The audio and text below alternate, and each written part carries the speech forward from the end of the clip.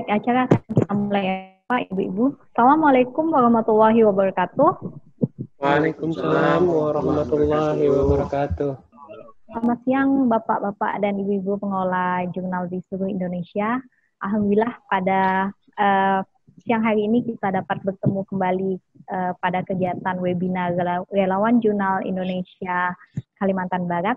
Adapun tema webinar kita pada hari ini adalah mengisi kebangkitan bangsa dengan belajar kelola jurnal ilmiah. Pada siang hari ini kita telah uh, memiliki empat narasumber kita yang juga telah berpengalaman untuk mengelola jurnal di eh, masing-masing uh, lembaga dan perguruan tingginya. Uh, di sini ada Bapak Heru Yudipan, ada Bapak Elman Syah, ada Ibu Alda Cendekia Siregar, dan ada Bung Ibral Ayatullah. Nantinya uh, acara webinar ini akan kita bagi menjadi dua sesi ya Bapak-bapak Ibu-ibu. Uh, untuk sesi pertama yaitu pemaparan materi oleh narasumber-narasumber kita, kemudian baru kita lanjutkan di 30 menit terakhir. Di acara terakhir kita akan ada sesi tanya jawab. Nah, untuk sesi tanya jawab nanti uh, Bapak-bapak dan Ibu-ibu yang sudah memiliki pertanyaan boleh juga langsung dituliskan pertanyaannya di kolom chat, nanti uh, moderator akan membacakan pertanyaan uh, Bapak-Bapak dan Ibu-Ibu. Nanti juga uh, apabila memungkinkan dan apabila ada waktu, maka kami akan uh, membuka sesi tanya-jawab secara langsung. Uh, pada hari ini, uh, kegiatan webinar ini akan dipandu oleh saya sendiri, saya Dewi Ismu Purwaningsih. Uh, adapun saya adalah pengurus dari uh, Relawan Jurnal Indonesia Kalimantan Barat. Uh, baiklah, Bapak Ibu pengelola jurnal, uh, kita langsung saja ke kegiatan pertama kita. Kegiatan pertama kita ini adalah uh, pembukaan oleh Ketua Relawan Jurnal Indonesia Pusat, yaitu Bapak Andri Putra Kesmawan. Kepada Bapak Andri, kami persilahkan. Silakan, Pak Andri. Baik, Assalamualaikum warahmatullahi wabarakatuh. Selamat siang, salam sejahtera untuk kita semua. Yang saya hormati Bapak Zainuddin Hudi Prasojo, Ibu Dewi Ismu, dan eh, Bapak-Bapak dan Ibu narasumber untuk kegiatan pada siang ini. Jadi terima kasih banyak sudah meluangkan waktunya untuk uh, acara webinar ini, website seminar. Semoga acara ini nanti bisa bermanfaat bagi kita semua. Jadi dalam keadaan yang uh, kerja dari rumah dan dan masa-masa mendekati Lebaran bagi umat Muslim, saya kira Bapak Ibu masih semangat untuk mengikuti kegiatan-kegiatan yang uh, eh, RJ selenggarakan. Nah di Kalimantan Barat ini adalah kegiatan yang ke berapa ya? Keempat atau kelima uh, tadi pagi dari Maluku jam 9 sampai jam 12. Yang saya lihat ini ada pelanggan setia, itu Pak Muhammad Tohir, itu tadi pagi ikut, terus yang ini juga ikut, kemarin juga ikut. Nah, jadi ada pelanggan setia, peserta setia lah uh, yang uh, terus mengikuti kegiatan-kegiatan kita. Jadi tidak bosan-bosannya uh, menyimak kegiatan uh, apa namanya uh, acara-acara kita. Di sini juga ada teman-teman RJI lainnya. Uh, selamat bergabung Pak Dedi, Pak Feni, Kang Busro, dan teman-teman uh, RJI dari Kalimantan Barat. Ya, terakhir saya ucapkan terima kasih banyak pada Bapak dan Bapak-bapak dan Ibu narasumber uh, sudah meluangkan waktunya um, apa namanya di kegiatan ini untuk berikutnya mohon untuk berkenan untuk apa namanya ketika nanti ada peserta-peserta yang uh, belum jelas mohon untuk uh, bersabar untuk menanggapi dan menjawab pertanyaannya. Jadi uh, cukup sekian dari saya. Uh, terima kasih banyak Pak Ketua Pengurus Daerah RJI Pak Zainuddin sudah berkenan uh, mengajak teman-teman untuk uh, mengadakan acara ini. Terima kasih. Uh, saya sampaikan. Assalamualaikum warahmatullahi wabarakatuh. Waalaikumsalam warahmatullahi wabarakatuh. Terima kasih Pak Andri telah um, meluangkan waktunya. Uh, baiklah, uh, selanjutnya kita akan menuju kepada materi pertama kita, yaitu strategi menyiapkan jurnal online dengan narasumber kita, yaitu Bapak Heru Yudi. Saya akan membacakan kurikulum vitae dari Bapak Heru Yudi Kurniawan ini, yang juga biasa dipanggil dengan Pak Yudi. Uh, Pak Yudi ini lahir pada uh, di Pontianak pada tanggal 21 Januari 1989. Kemudian uh, lembaga perguruan tingginya adalah Universitas Muhammadiyah Pontianak. Untuk uh, nomor HP beliau dan yang juga nomor WA-nya yaitu uh, 082150395121 jika uh, Bapak Ibu uh, ingin bertanya langsung kepada beliau dipersilahkan untuk menghubungi, menghubungi beliau. Uh, adapun Pak Yudi ini untuk uh, pengelolaan jurnalnya sendiri ada uh, tiga di sini. Uh, yang pertama telah uh, menjadi jurnal manager di jurnal Res Judi Cata di Universitas Muhammadiyah Pontianak pada tahun 2018 hingga sekarang. Uh, kemudian juga uh, beliau juga menjadi editor di jurnal Pengabdi di Lembaga Penelitian dan Pengabdian kepada Masyarakat di Universitas Tanjung Pura Pontianak pada uh, sejak tahun 2018 hingga sekarang. Dan juga uh, beliau editor jurnal Al-Hikmah di Universitas Muhammadiyah Pontianak pada tahun 2018 hingga sekarang. Uh, baiklah, uh, langsung saja kita akan uh, menuju ke Pak Yudi untuk uh, mendengarkan dan melihat bersama-sama uh, materi yang akan disampaikan oleh narasumber pertama kita. Pada Pak Yudi, kami persilahkan.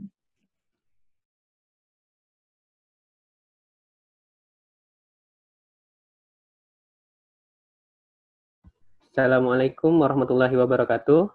Waalaikumsalam.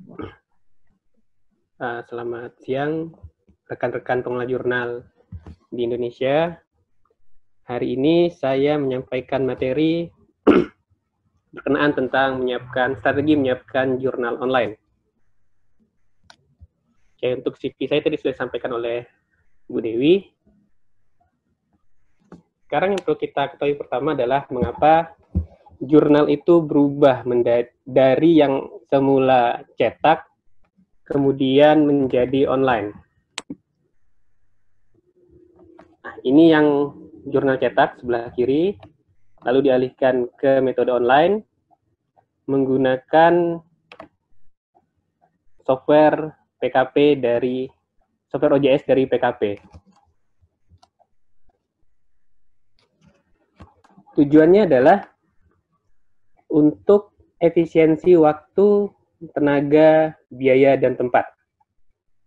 Kalau dulu ngirim jurnal itu harus secara fisik agar mudah dibaca oleh para asesor, yang mana kita tahu kalau ngirim secara fisik itu perlu biaya yang tidak murah, kemudian butuh waktu dari pengiriman, misal kami yang di Kalimantan Barat, Pontianak, ke Jakarta, kemudian di tempat penyimpanannya juga pasti membutuhkan ruang yang sangat besar, karena seluruh jurnal di Indonesia akan dikirim ke sana.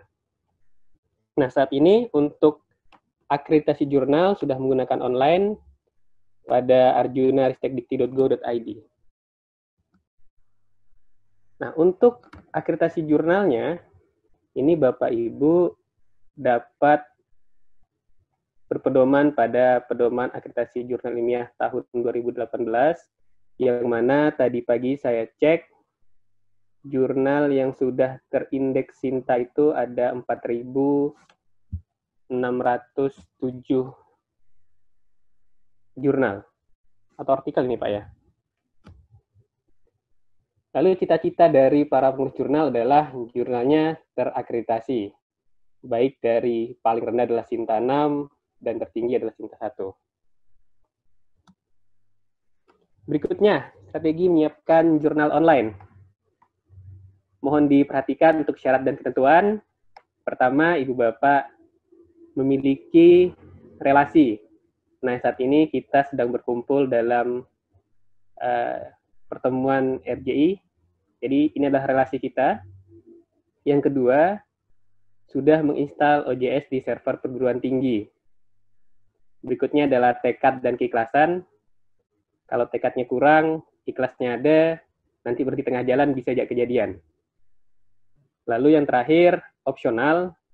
Jika sebelumnya Bapak Ibu sudah memiliki jurnal cetak, tapi ingin di-online-kan. Nah, ini yang lebih diuntungkan.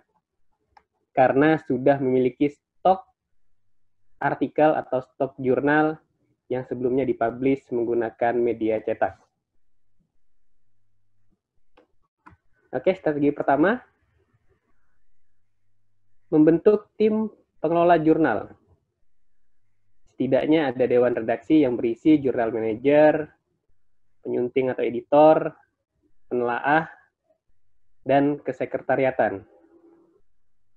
Dalam jurnal yang sehat, mungkin tim ini bisa dibagi jadi beberapa orang, tetapi jika ibu bapak terpaksa mengelola sendiri, atau mungkin sekitar tiga orang, setidaknya jurnal manager bisa berperan sebagai editor dan sekretariatan. Tetapi untuk reviewer, sedapat mungkin ibu bapak meminjam tenaga bantuan dari rekan-rekan yang mampu dalam mengelola jurnal atau yang mampu mereview jurnal kita. Lalu yang tidak kalah penting untuk legalitas yang diperlukan oleh para tim, terutama tim ini apabila dosen, mohon dibuatkan surat keputusan. Apakah itu dari dekan, kaprodi, ataupun kepala jurusan. Strategi kedua. Tadi anggaplah kita sudah punya tim.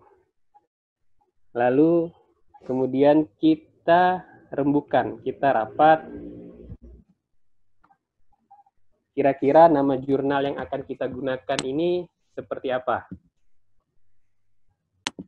Nama jurnal yang disarankan spesifik pada keilmuan tertentu jangan bersifat umum.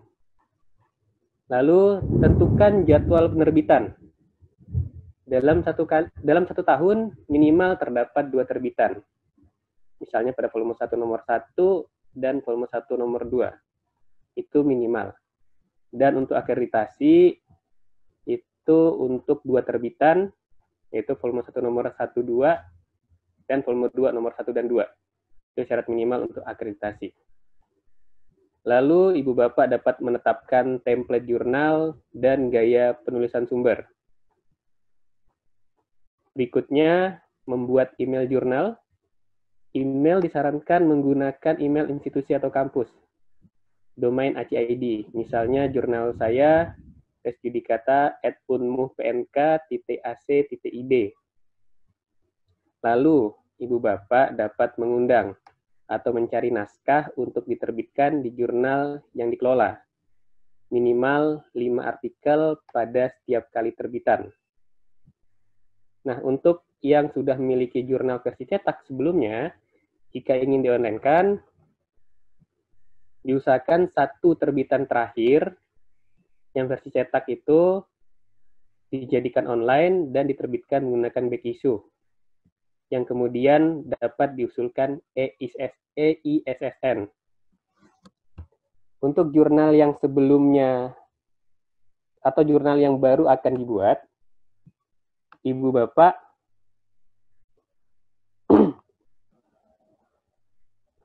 dapat menunggu dalam satu kali terbitan dulu, misalnya volume 1 nomor 1, baru dapat mengusulkan elektronik ISSN.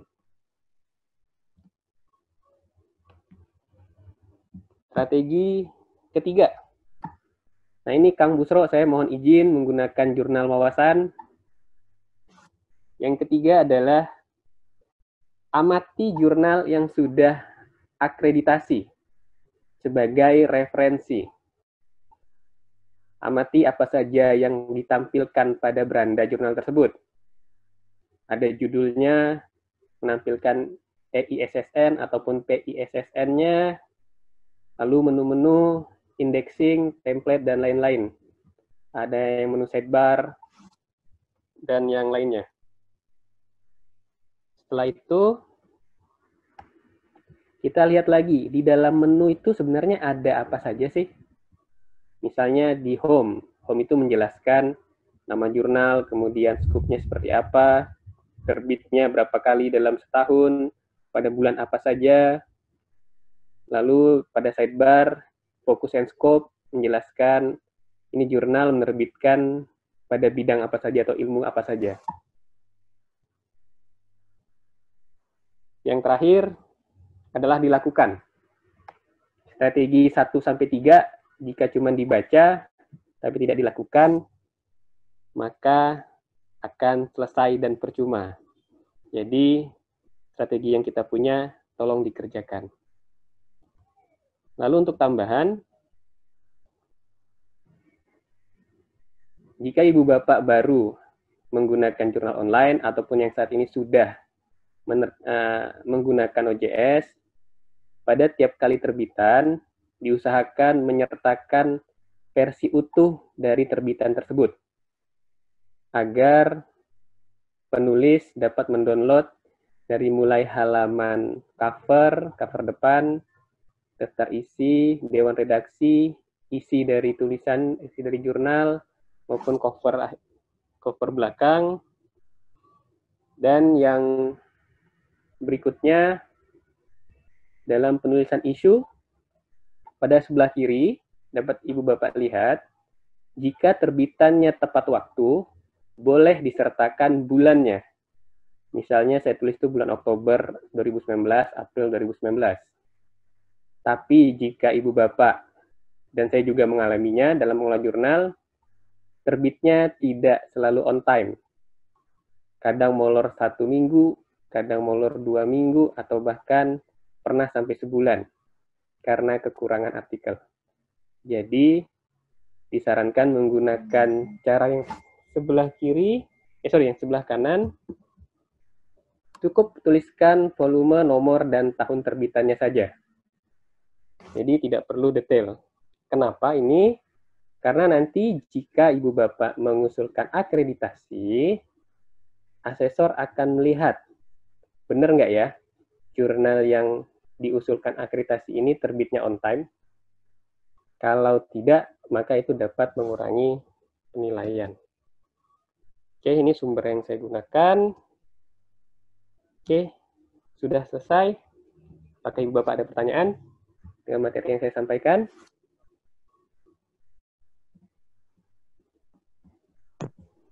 Baik, terima kasih Pak Yudi. Uh, materi yang uh, singkat, jelas dan padat ya Pak ya. Jadi uh, Pak Yudi tadi telah uh, membagikan kepada kita, bagi, membagikan ilmu kepada kita uh, bagaimana kiat-kiat untuk uh, memulai uh, jurnal online.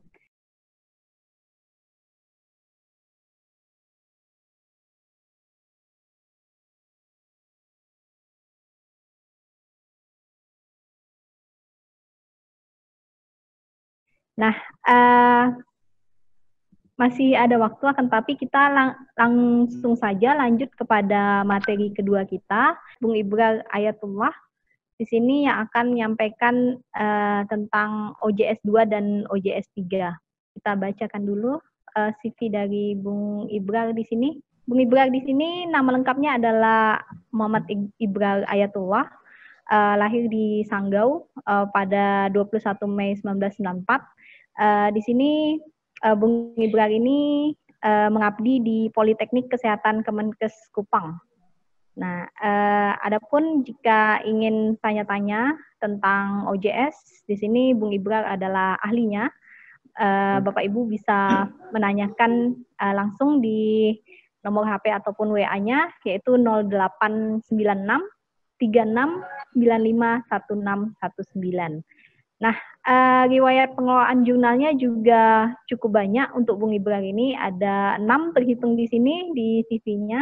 Uh, eh, pernah menjadi jurnal manager di Jurnal Vokasi Kesehatan di Poltekkes Kemenkes Pontianak pada tahun 2017 hingga tahun 2018.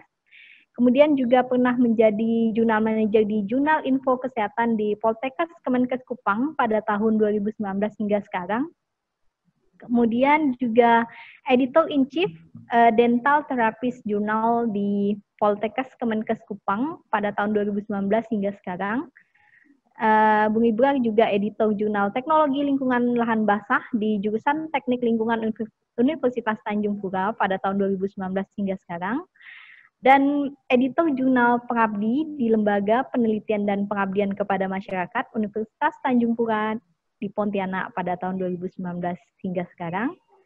Uh, yang terakhir adalah editor jurnal Tropical Health and Medical Research di Baiman Bauntung Batuah Center Banjarmasin tahun 2019 hingga sekarang.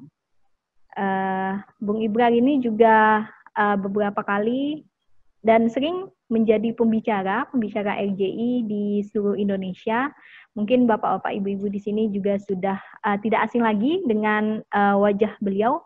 Kita langsung saja ke Bung Ibrar ya. Ya, silakan Oke, Bung Ibrar. Terima kasih.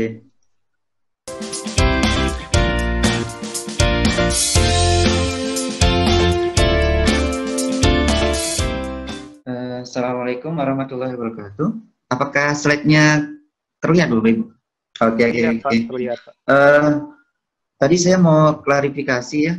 Kalau saya dibilang ahli, saya belum ahli. Saya sukanya belajar dan berbagi biasanya. Jadi uh, yang ahli itu adalah tim-tim dari pusat. Jadi uh, saya hanya berbagi, sharing. Jadi apa yang saya dapatkan saya berbagi kepada Bapak Ibu semuanya. Nah kali ini ya Bapak Ibu uh, saya akan membahas tentang manajemen penerbitan OJS 2 dan OJS 3. Sebenarnya ini terlalu apa, panjang sebenarnya Bapak Ibu waktunya. Jadi harus harus apa ya? Harus banyak waktu untuk menyelesaikan ini sampai akhir sebenarnya. Tapi saya singkat aja ya Bapak Ibu. Jadi di sini ada beberapa ya OJS yang telah saya apa nama eh, lihat yaitu dari versi ataupun tipe dari OJS-nya. Di sini ada beberapa Bapak Ibu, mungkin contohnya Al-Abab ya. Itu di situ ada OJS yang digunakan ada 24.8.5, kemudian ada Medical Laboratory punya uh, Poltekkes Kemenkes Banjarmasin ada 247.1, kemudian ada uh, Jurnal Kesehatan Prima milik Mataram itu ada 248.2, kemudian ada Bulletin of Chemical Reaction Engineering in Catalyst. Itu menggunakan OJS versi 2481 yaitu milik uh, Undip. Nah, kemudian yang OJS 3 ini ada jurnal bidan cerdas ini milik Palu yaitu menggunakan uh, versi 31.2.4 kemudian ada jurnal info kesehatan itu uh, milik dari Poltekkes Kemenkes Kupang sendiri yang uh, kami kelola yaitu 3.1.2.1 dan juga ada uh, jurnal milik uh, Poltekkes Kemenkes Yogyakarta yaitu jurusan uh, kesehatan gigi ada 3.1.1.0 versinya. Dan yang terakhir ada jurnal Teknolab Laboratorium milik Poltekkes Kemenkes Jogja uh, yaitu menggunakan 31.1.2. Jadi uh, yang membedakan antara tiap jurnal ini sebenarnya dalam proses marketing. Jadi kalau di OJS 2 itu dia mungkin Bapak Ibu bisa melihat ya untuk di role ketika Bapak Ibu memasuk di jurnal manager di bagian role itu Bapak akan melihat kalau di OJS 2 ada author, editor, kemudian ada uh, section editor, kemudian ada lagi yang namanya reviewer, terus ada jurnal manager. Nah, sedangkan di OJS 3 kalau di role-nya itu dia itu banyak bagiannya Bapak Ibu. Jadi ada author, ada Reader juga ada ya di OJS 2 ya. Jadi reader, author, reviewer, editor, section editor, kemudian ada lagi di situ uh, kayak marketing, ada production, kemudian uh, bagian layouter ada pokoknya di situ semuanya tertera di role-nya. Nah, kemudian di sini apa sih sebenarnya yang harus kita pelajari dari OJS 2 maupun OJS 3? Yang perlu kita ketahui sebenarnya pertama kali itu perannya, Pak peran dari uh, rule-nya, yaitu misalnya peran dari administrator itu apa, peran dari uh, Misalnya peran dari jurnal manager itu apa, kemudian editor apa, section editor apa, reviewer apa, dan author itu apa. Nah, kalau sistem uh, manajemen penerbitannya, Bapak Ibu mungkin bisa mengecek atau melihat di bagian uh, OJS 2 yang sering mudah atau yang mudah itu di bagian about, di bagian paling bawah tersendiri, itu ada namanya about publishing.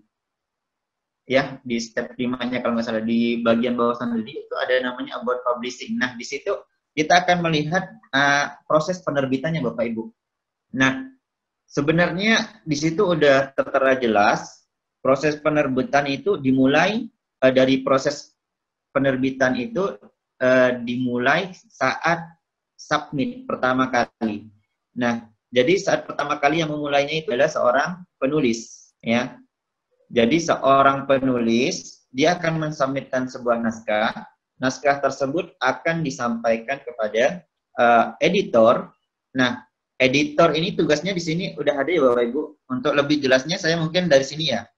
Nah, jadi praktek penerbitannya itu dia seorang autor akan e, mensubmitkan atau memasukkan artikelnya ke dalam sebuah jurnal baik OJS 3 maupun OJS 2. Jadi Bapak Ibu bisa tengok ya, bisa dilihat uh, OJS 2 yang di atas, OJS 3 yang di bawah. Nah, ketika di OJS 2 pada bagian yang pertama itu adalah kita akan mengisi lembar checklist. Nah, lembar checklist itu ada lima checklistan kalau nggak salah, ada lima stepnya ya.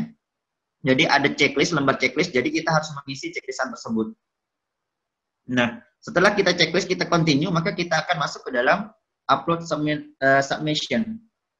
Nah, di upload submission ini, Bapak Ibu akan mengupload atau mengunggah sebuah artikel yang akan Bapak masukkan atau Bapak Ibu masukkan ke dalam sebuah jurnal. Jadi artikel atau naskah yang Bapak Ibu masukkan dimasukkan di dalam bagian yang kedua kalau di OJS 2. Sama sih kalau di OJS 3 juga di bagian kedua yaitu di upload submission. Nah, yang perlu diperhatikan oleh Bapak Ibu yaitu harus sesuai dengan template yang diminta atau author guideline ya yang diminta oleh sebuah jurnal. Jadi Bapak Ibu harus memperhatikan itu terlebih dahulu kalau Bapak Ibu ingin memasukkan sebuah artikel dalam sebuah uh, jurnal.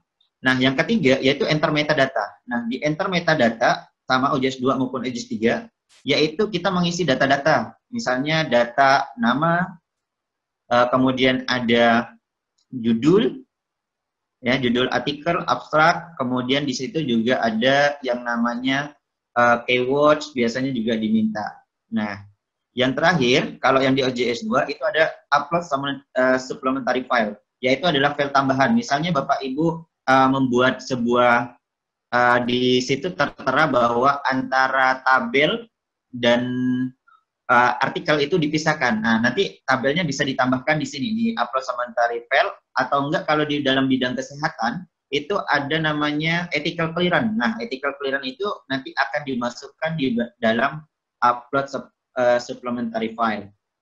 Nah, kalau sedangkan yang di OJS 3, ini udah sampai 4, ini udah konfirmasi Bapak Ibu.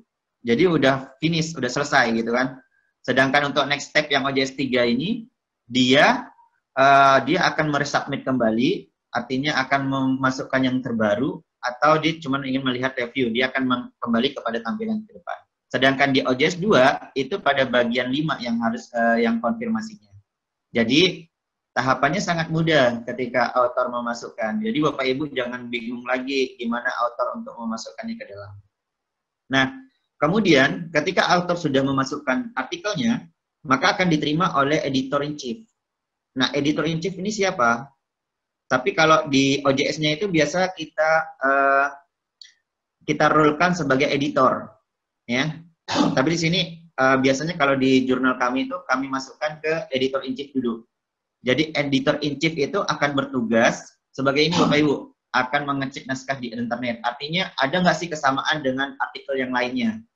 Akan dicek judulnya, kemudian akan mengecek kesesuaian bidang ilmunya, sesuai nggak sih dengan fokus and scope yang kita miliki, kemudian akan menunjuk dan menugaskan editor bagian sesuai dengan bidang ilmunya. Misalnya skopnya gigi nih, nanti akan diserahkan oleh editor in chief kepada section editor yaitu bagian gigi karena sesuai dengan bidang ilmu karena nanti pada keputusan akhir itu ada di tangannya si edi, uh, seksan editor ini. Dan yang keempat adalah mendistribusikan naskah ke editor bagian. Nah, jadi dari editor in chief dia akan masuk kepada editor bagian. Nah, di sinilah edit, uh, tugas editor bagian ini lumayan uh, akan memakan waktu karena proses editorial ya Bapak Ibu. Karena proses editorial di sini sangat lama, jadi nanti akan proses bolak-balik naskah. Nah, jadi tugas editor bagian ini, ah ini menghapus identitas menulis. Nah, terkadang Bapak Ibu sering melakukan pengiriman artikel, padahal uh, di situ dikatakan bahwa artikel itu double uh, double blend. Artinya antara penulis dengan reviewer itu tidak saling mengenal. Jadi tugas editor bagian harus menghapus semua nama termasuk email, nomor HP yang ada di artikel tersebut. Jadi Bapak Ibu hapus, ganti saja nanti misalnya uh, namanya diganti dengan blend review, blend review gitu. Nah, setelah itu nanti uh, akan menunjuk dan menugaskan reviewer. Nah, di sini nanti Bapak Ibu, ini terlihat pada OJS 3 maupun OJS 2. Ini OJS 2 yang saya gambari dengan uh, seorang wanita, sedangkan ini seorang laki-laki Bapak Ibu kalau di OJS 3. Jadi dia akan menyerahkan kepada uh, reviewer. Misalnya reviewernya Emi Ibrar Ayatullah ini Bapak Ibu. Jadi saya serahkan ke M. Ibrar Ayatullah.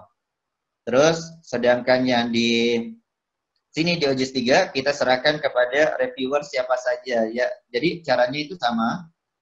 Kita tinggal nanti memilih. Jadi kita select aja, select reviewernya siapa yang uh, kita uh, ingin sampaikan atau kita kirimkan, yaitu uh, misalnya reviewernya sesuai dengan bidang ilmu, misalnya gigi jadi gigi. Yang perlu diperhatikan sebelum kita mengirim kita harus menginformasikan terlebih dahulu yaitu misalnya kita by WA kepada reviewer agar reviewer tidak terkejut Bapak Ibu.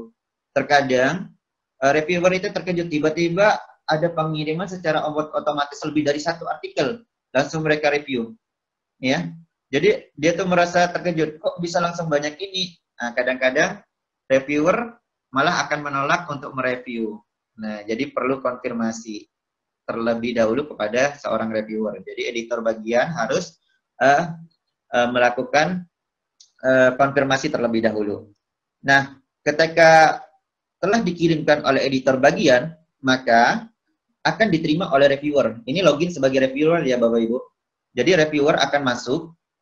Setelah masuk, ini kalau yang di atas uh, OJS 2, dia ada lima tahapan Bapak Ibu, reviewer. Jadi yang pertama ada will do the review. Dia akan melaksanakan review. Sedangkan unable ini dia tidak akan melaksanakan reviewnya ya jadi tergantung reviewernya dia mau mengerjakan atau enggak tergantung reviewernya nanti bapak ibu jangan salah paham tiba-tiba dia memilih unable to do review jadi tidak tidak melakukan uh, review ya itu tergantung dari reviewernya makanya tadi konfirmasi itu sangat diperlukan nah yang kedua kalau di OJS 2 kita tinggal download aja bapak ibu ini artikelnya jadi seorang reviewer di sini harus uh, mendownload setelah di download yang perlu diperhatikan kembali yaitu apa tugasnya. Nah, di sini sudah jelas Bapak Ibu. Jadi tugas reviewer itu harus melakukan review naskah. Eh, review naskahnya itu bukan pada tata letak tulisan ataupun kurangan kata. Pun substansinya.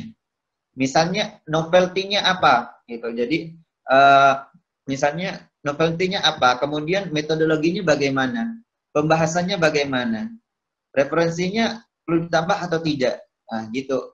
Sesuai atau tidak. Nah, gitu Bapak Ibu. Jadi nanti di sini jadi tugasnya seorang reviewer.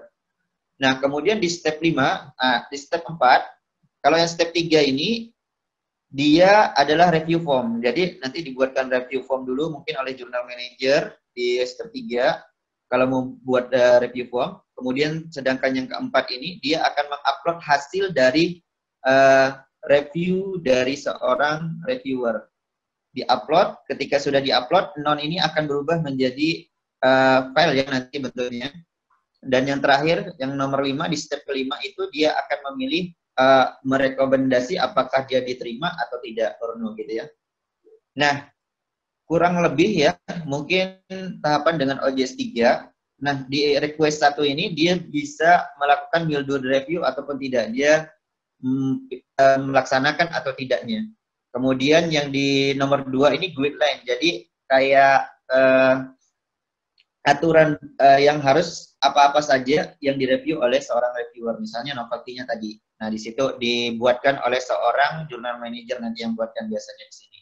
Nah, di download and review ini biasanya kita mendownload artikelnya, kemudian kita mengunggah kembali hasil dari tadi hasil dari sebuah uh, review. Kita unggah, kemudian kita akan merekomendasi atau memilih apakah artikel itu diterima atau tidak.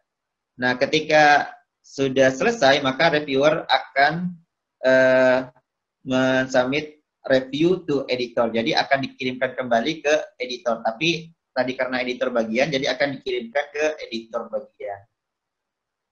Nah, ketika sudah sampai di editor bagian, ini login lagi Bapak Ibu sebagai editor bagian. Nah, ini kerjaan editor bagian. Jadi dia sebagai perantara, artinya perantara sebenarnya. Jadi perantara antara penulis dengan seorang reviewer Bapak Bapak Ibu. Jadi editor bagian di situ tugasnya.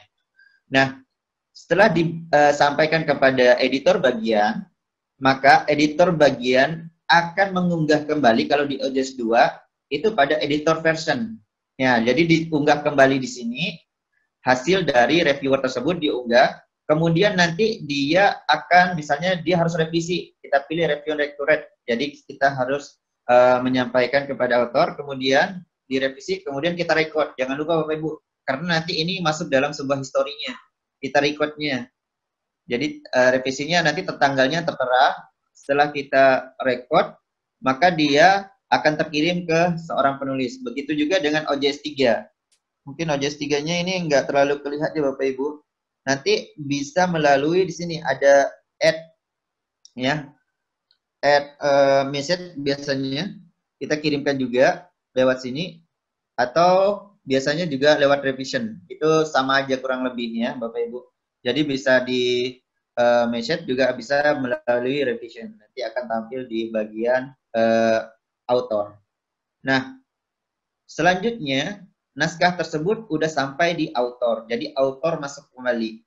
Jadi ketika author udah masuk kembali, apa yang perlu diperhatikan dari seorang uh, author yaitu pada saat naskah telah dikembalikan. Yang pertama yaitu adalah status naskah bahan perbaikan hasil review itu harus dibaca benar-benar double uh, double blend review ya. Penulis harus memperbaiki naskah sesuai saran dan catatan. Nah, Bapak Ibu harus uh, meyakinkan dari editor itu, editor section editor itu harus uh, benar-benar jeli. Jadi saran atau catatan reviewer tuh yang disampaikan ke author harus diperbaikinya. Itu ya harus yang itu. Jangan uh, berpindah lagi kepada yang lain. Malah kadang-kadang uh, seorang autor itu dia merevisi bagian yang lain. Padahal yang diperintahkan satu ini yang direvisi tapi bagian yang lain yang direvisi. Nah itu kemudian diusahakan perbaikan naskah itu hanya satu kali. Kemudian bisa di jadi uh, perlunya apa ya kontrol dari editor bagian nah misalnya dia lama apa yang harus kita lakukan misalnya autornya lama nih, ah mungkin kita bisa chat. Kalau ada nomornya, biasanya kan ada nomornya dikirim kontaknya, kita chat lewat WA. Kalau enggak kita email, Bapak Ibu. Mohon segera merevisi. Nah, kalau tidak merevisi, maka akan di decline gitu misalnya. Kan nanti kan tergantung Bapak Ibu. Seandainya kalau kekurangan naskah ya mungkin bisa nunggu gitu kan. Tapi nanti akan berpengaruh pada proses penerbitannya. Nah, Ketika author sudah merevisi, maka dia akan mengirimkan kembali kepada editor bagian. Nah, di sinilah tugas editor bagian Bapak Ibu yang terakhir. Nah, tugasnya yaitu dia akan mengecek uh, hasil penilaian perbaikan naskah dari hasil review oleh penulis yang mengacu pada form penilaian penulis. Jadi, dia akan melihat kembali uh, hasil dari perbaikan, dari perbaikan naskah yang telah dilakukan oleh seorang autor. Nah, kemudian yang kedua dia harus menyampaikan naskah perbaikan penulis tersebut kepada reviewer. Nah, jadi jangan langsung ambil keputusan Bapak Ibu editor ya atau section editor. Jadi harus kita sampaikan kembali kepada reviewer. Bapak ini bagaimana naskahnya? Apakah sudah sesuai? Oke, terbit lanjut. Nah, oke, kita nanti baru kita akan melanjutkan. Tinggal kita kasih accepted submission. Nah, sama ya, di sini nanti akan ada di sini yaitu tinggal kita uh, accepted Uh, karena di sini kurang ya, nggak kelihatan di OJS 3-nya. Nanti ada pilihan acceptance di situ. Kemudian jika review telah setuju, tinggal di accepted, kemudian lengkapi nama dan identitas. Nah, selanjutnya sudah selesai, maka Bapak Ibu uh, melengkapi nama yang tadi yang sudah kita hapus, kita lengkapi, kemudian kita akan mengirimnya ke bagian send to editing ya. Jadi akan dikirim ya untuk proses selanjutnya yaitu adalah copy edit. Nah, copy editing ini mungkin nanti dikerjakan di luar juga boleh sebenarnya. Karena proses editorial itu tadi yang telah dilakukan mungkin dari author kemudian editor in chief terus ada editor terus reviewer udah selesai itu adalah termasuk dalam proses editorial Bapak Ibu. Nah, untuk selanjutnya yaitu akan masuk kepada bagian editing naskah. Nah, dia akan mengecek kembali ini bisa dilakukan oleh editor ya ataupun dia bisa dilakukan oleh orang lain yang diperintahkan ya oleh uh, section editor. Misalnya yang bisa masuk ke dalam proses selanjutnya yaitu misalnya dia harus mengecek tata bahasanya, kemudian uh, susunan kalimatnya, misalnya ada yang tipe atau bagaimana itu harus diperbaiki layoutnya, bagaimana Bapak Ibu, ah, kayak begitu. Nanti dia akan masuk di eh, sini, uh, inisial copy edit, dan uh, kalau di OJS 2, kemudian kita kirim lagi ke author copy edit bagaimana? Di author copy editnya, jadi nanti authornya akan mengirim kembali, kemudian terakhir di finalnya, nanti baru di upload Nah, sama juga di sini di bagian uh, OJS 3 ya di bagian copy edit Bapak Ibu tinggal di upload kembali, dicek kemudian nanti dikirimkan ke seorang uh, penulis tersebut minta uh, persetujuan bagaimana apakah sudah sesuai atau tidak. Jadi begitu Bapak Ibu. Nah, kemudian di sini uh, misalnya nih statusnya udah in editing. Nah, nanti apa yang harus dilakukan?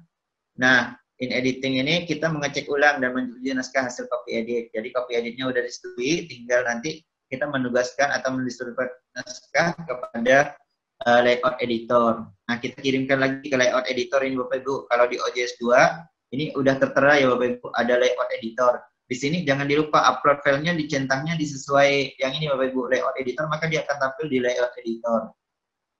Nah, kalau di OJS 2, kalau di OJS 3, itu kurang lebih sama di bagian uh, layout di production ini. Nah, nanti dia akan tampil di sini. Kita tampilkan. Nah, nanti yang terakhir di sini in editing pada bagian layout ya, layout ya. Jadi di gallery format Bapak Ibu.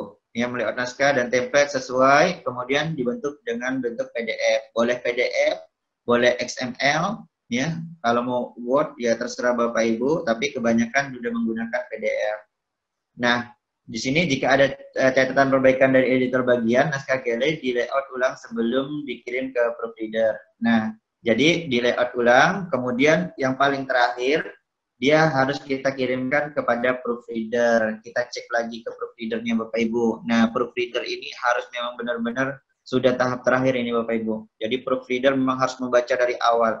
Misalnya uh, pokoknya dari awal pe naskah itu dari judul semuanya harus dibaca ulang.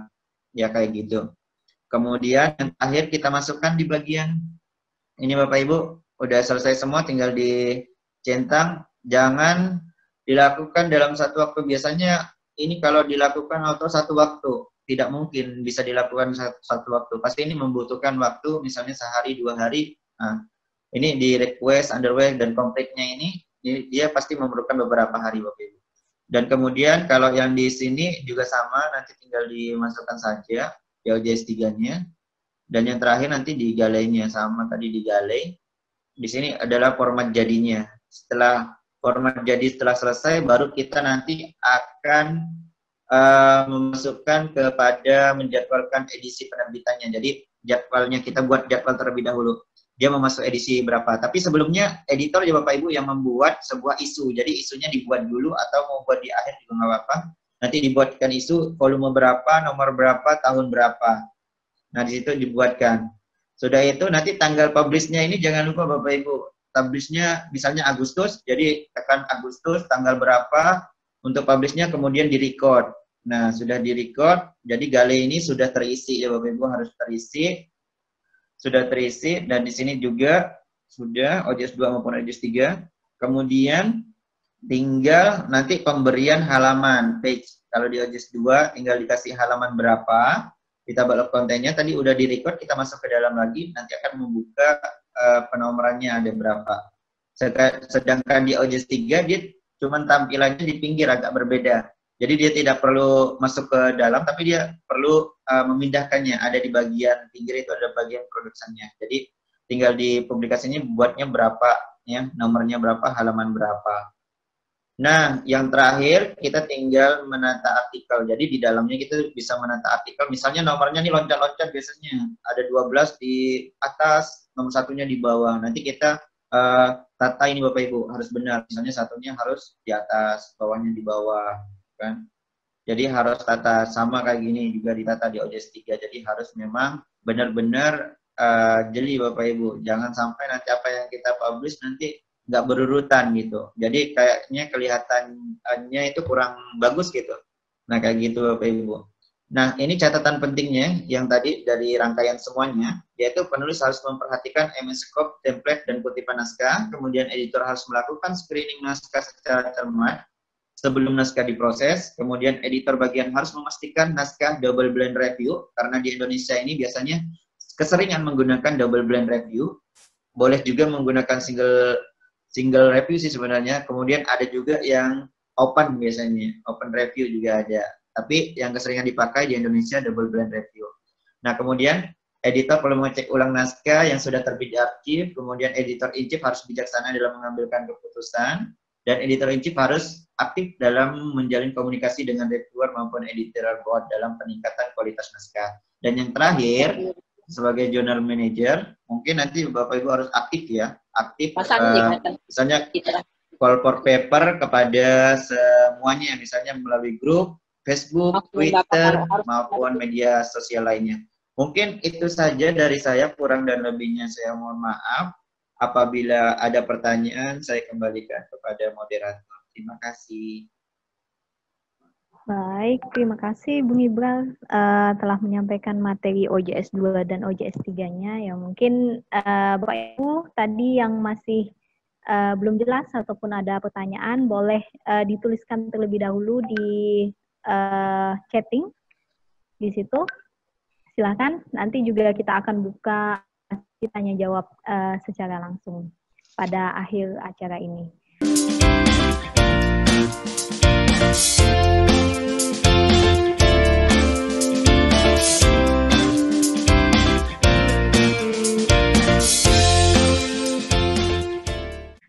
untuk selanjutnya kita uh, menuju ke materi selanjutnya saja dulu. Di sini telah hadir uh, Pak Elman Syah. Di sini yang akan membawakan materi tentang Mendeley. Uh, Bapak Elman Syah. Halo Bapak. Iya, jadi Bapak Ibu di sini juga uh, bisa follow Instagram Relawan Jurnal Indonesia di sini untuk mendapatkan info info webinar Relawan Jurnal Indonesia uh, secara uh, lebih up to date karena info-infonya juga kita uh, upload di situ. Jadi uh, EJ ini uh, hampir setiap hari dan hampir uh, setiap waktu, ya. Sudah kedengaran? Uh, uh, sudah Pak, sudah uh, uh, lumayan jelas. Boleh didekatkan sedikit mikrofonnya mungkin. Sedikit ya. Iya Pak. Iya. Uh, jadi uh, kita lanjut dulu ke materi Pak Elman Syah uh, dengan materi Mendeley. Silahkan Pak Elman Syah, waktu dan tempat.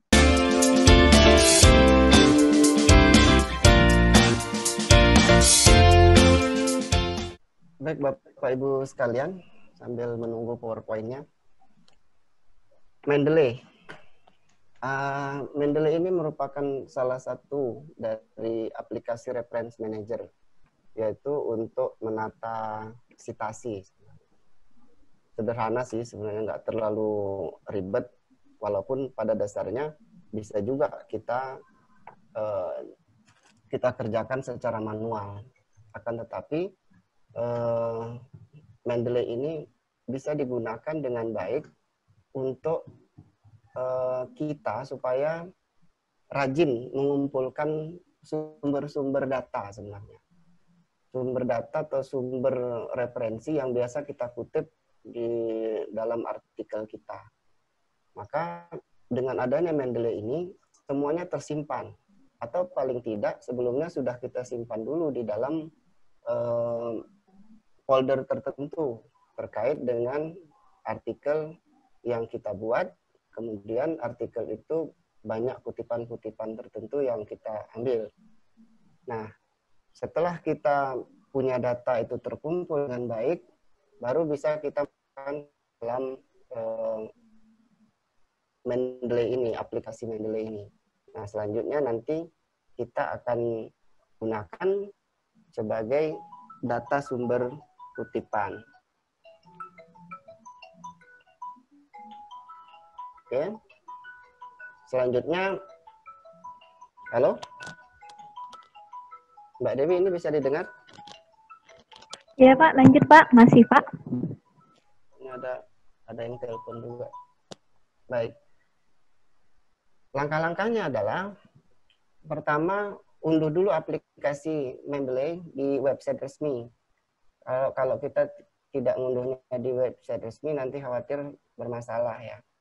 Jadi kalau misalkan kita ambil di website resmi, nanti insya Allah nggak masalah. E, beberapa kali pengalaman kami ketika menginstal ini e, aplikasi Mendeley ini sering sekali bermasalah. Eh, kadang-kadang tidak sesuai dengan spesifikasinya lah. Kadang-kadang juga ada persoalan-persoalan lain yang membuat kita kesulitan untuk menginstal aplikasi Mendeley ini. Maka yang paling aman nanti dicari di website resmi. Kemudian install di desktop. Nanti kalau berhasil, nanti akan bisa kita gunakan dengan baik. Nah, setelah diinstal di desktop, jangan lupa hubungkan dengan MS Word uh, yang ada di dalam komputer kita. Kemudian di aplikasi Mendeley-nya kita buat folder penyimpanan, lalu kita buka aplikasi MS Word lagi, kita tata citasinya, bikin biografi, udah selesai, itu aja.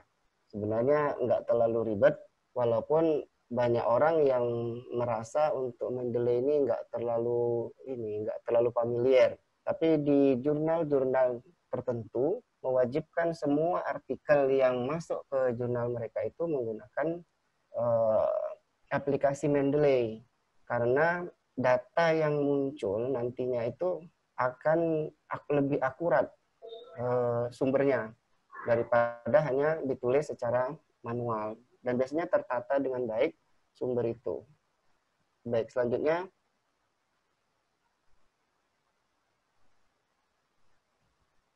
kita akan coba satu persatu. Nah, pertama, download Mendeley dulu. Cari langkah apa namanya website resmi di sini ada saya carikan contohnya mendeley.com download desktop new add download. Nah, di sini kemudian setelah kita cek di sini bisa langsung ke uh, bagian yang ditulis merah ini. Kita langsung klik. Nah, nanti akan tersimpan di laptop kita. Selanjutnya setelah dia tersimpan di laptop, baru kemudian kita install di desktop kita. Lanjut. Nah ini, installnya ini kemarin saya pernah bermasalah karena ada persoalan eh, restrict yang ada di dalam eh, cPanel. Nah, yang persoalan begini sering banyak terjadi, makanya kemudian hati-hati dalam menginstal Mendeley ini supaya uh, bisa berjalan dengan baik. Next. Nah, kalau berhasil, maka tampilannya akan seperti ini Bapak Ibu. Mendeley. Nah, tinggal kita masukkan email, kemudian password, lalu langsung sign in. Nah, tapi karena ini menggunakan aplikasi khusus, maka nanti harus regis dulu, registrasi dulu ke Mendeley-nya supaya ketika kita masuk ke aplikasi ini, aplikasi ini bisa digunakan. Baik, next. Nah, kemudian kita masuk ke wilayah uh, Mendeley-nya. Mendeley khusus untuk uh, khusus untuk mendaftar atau registrasi. Di sini ada create account, kemudian for free saja. Langsung kita masukkan ke akun di Mendeley itu, nanti akan diarahkan ke Elsevier.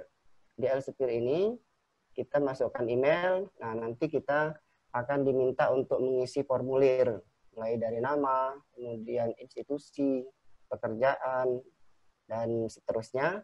Setelah selesai, Oh, jangan lupa di situ apakah Anda statusnya sebagai dosen atau sebagai mahasiswa atau sebagai apa dalam sebuah lembaga. Baru kalau sudah dimasukkan, nanti akan terlihat status atau identitas kita. Setelah identitas kita terbuat, sudah oke, okay, maka kita akan diterima atau selesai registrasi, maka you are registered. Gitu. Next. Nah, kalau sudah seperti ini, kita bisa langsung ke aplikasi Mendeley-nya. Enak kalau udah gini. Uh, yang penting jangan lupa ketika kita mendaftar tadi, ada di email yang kita daftarkan itu uh, username dan password yang sudah kita buat biasanya. Setelah kita dapat data itu, kita langsung bisa masukkan emailnya, masukkan password, bisa sign in.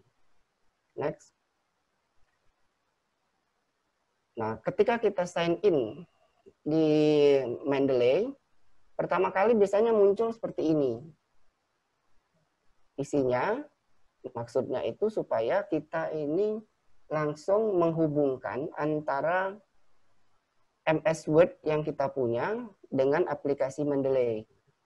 Nah, supaya nanti ketika kita buka di aplikasi Mendeley itu, kita bisa uh, melihat bahwa aplikasi Mendeley sudah terpasang di Word yang kita punya, MS Word yang kita punya. Next. Nah, di aplikasi ya di aplikasi Mendeley itu kita bisa melihat di sini poin-poinnya. Setelah kita terinstall tadi, ada nampak seperti ini. Nampak menunjukkan suruh edit, suruh uh, edit maksudnya add, menambah menambah artikel secara manual atau folder secara manual. Uh, nanti satu persatu akan kita coba. Next. Nah, yang paling penting adalah kita mengisi foldernya dulu. Nah, setelah diisi folder, baru nanti kita lanjutkan. Nah, sebelum kita bekerja lebih jauh di wilayah uh, aplikasi Mendeley, jadi ada dua aplikasi. Aplikasi Mendeley tadi, uh, kita akan melihat ada nggak di apa di MS Word yang kita punya itu sudah nempel atau belum aplikasinya. Nah, kalau belum, kita klik di bagian Mendeley tadi, aplikasi Mendeley, klik Tools, install MS Word plugin, Nah, diklik saja, baru nanti dia akan terinstall. Setelah terinstall, ketika kita cek di bagian Word, MS Word itu akan muncul data, eh, gambar seperti ini. Insert citation. Sudah ada lambang Mendeley-nya. Sehingga di sini nanti kita bisa lanjut mengerjakan uh, Mendeley dengan baik. Berikut Nah, ini selain kita bisa mengimport data itu dengan cara manual, kita juga bisa mengimport data, memasukkan data sumber kutipan dengan cara mengambil data di internet langsung. Tapi syaratnya harus di-download dulu web importernya. Diinstal dulu web importernya. Sama seperti install MS Word plugin tadi, kita ambil di tools, kemudian klik install web importer, dia akan diarahkan ke web importernya. Di situ kita akan diminta untuk mendownload. Setelah di-download, kita install. Eh, setelah diinstal, nanti akan dibuat extension khusus yang akan muncul di bagian paling pojok kanan ya, paling pojok kanan dari web browser kita. Nah, itu nanti kita akan bisa menggunakan uh, alat ini untuk mencari data secara langsung di internet. Misalkan ada artikel, ada buku, atau apa saja yang ada sumbernya jelas di situ, uh, yang ada PDF-nya, yang maupun tidak ada PDF-nya bisa diambil melalui data ini. Klik di bagian pojok itu nanti akan keluar. Baik, berikutnya. Setelah kita download semua, tadi eh, sudah kita download, sudah kita install bagian tools tadi, maka kita akan melihat langsung ke eh, tampilan awal dari eh, Mendeley kita. Tampilannya biasanya kosong. Karena ini udah ada isinya, untuk memudahkan saja. Nah, setelah ada tampil di situ kosong, maka kita buatkan folder di bagian kecil ini. Di sini kita buat folder, namanya apa gitulah. Bikin folder. Setelah bikin folder, baru kita isi. Nah, cara ngisinya, kita lihat tools-tools yang ada di sini. Ada add manually. Artinya, kita akan menambahkan uh, dokumen atau referensi baru secara manual. Kemudian add folder. Nah, bisa kita masukkan folder. Artinya kalau sudah kita buat folder di komputer kita, kemudian kita klik di bagian ini, kita bikin lagi, masukkan foldernya. Akan lebih mudah. Berikutnya related. Related itu maksudnya referensi yang berhubungan. Nanti di bagian sini juga bisa kita klik untuk mencari data yang terkait. Juga bisa dihubungkan dengan yang bagian web browser tadi itu, web extension, kita cari data yang terkait. Kemudian sync ini juga disinkronisasi antara data web dengan data yang ada di uh, aplikasi Mendeley. Berikutnya, kita akan diarahkan eh, oh ya sebelum sampai ke sana kita coba dulu untuk masuk membuat data dengan mudah. Contohnya yaitu ketika kita klik di bagian icon yang ini tadi add ini kemudian di bawahnya ada pilihan apakah add dengan file ataukah folder. Nah di situ kita klik setelah diklik, cari referensi yang akan kita kutip, yang akan kita ambil maksudnya, di komputer kita atau di web. Nah, setelah kita klik di situ, maka data akan langsung masuk ke wilayah ini, bagian yang sebelah sini ini. Berikutnya,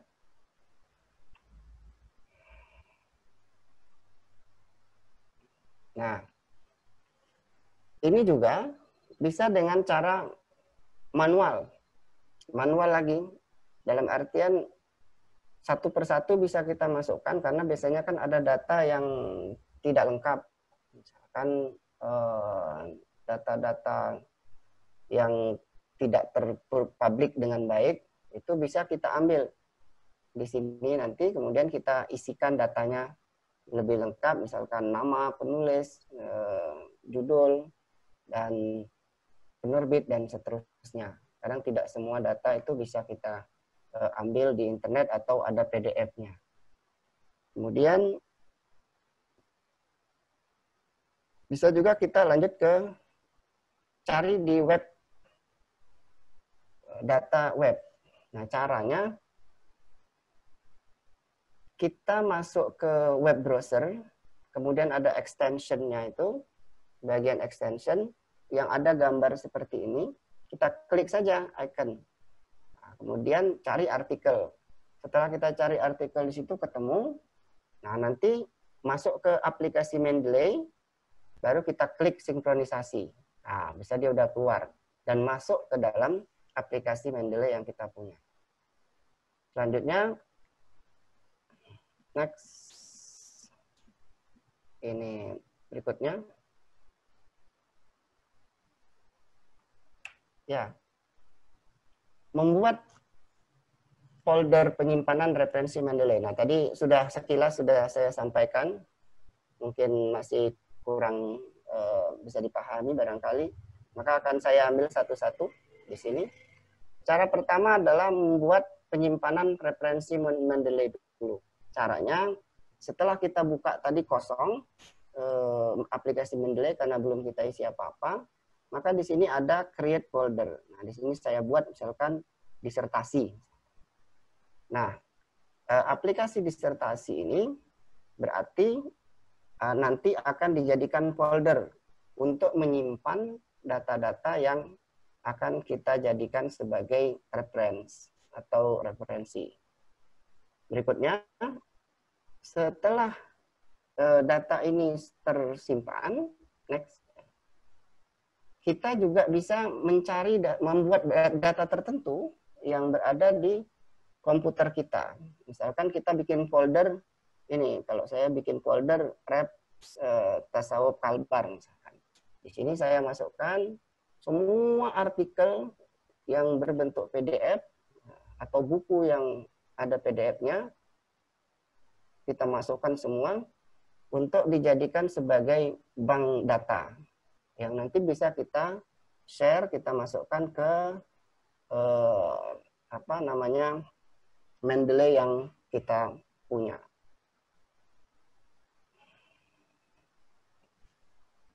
Selanjutnya, nah ini juga selain kita masukkan data nanti di dalam uh, folder kita itu berupa buku yang ada PDF-nya, nanti kita juga bisa menggunakan Eh, data yang dari internet yang tidak harus didownload secara utuh, tapi sumbernya saja yang berupa file RIS. Ya, Scholar RIS ini bisa kita ambil, nanti buka di Google Scholar, klik di bagian uh, kutipan, tanda centang, uh, tanda kutip itu, nanti akan muncul kutip di sini. Setelah itu kita akan mengambil salah satu yang ada di bawah ini, EndNote dan RepWorks. Nah, yang kita ambil ada RepMans. Uh, RepMans ini kalau kita klik nanti, maka akan muncul download. Setelah di-download, kita buka downloadnya, isinya seperti ini. Semacam uh, katalog begitu.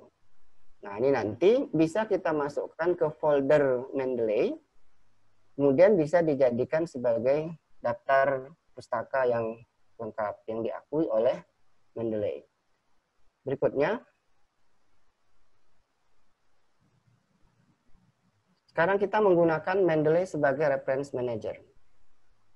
Selain kita membuat data sumber kutipan, kita membuat citasi dan membuat daftar pustaka.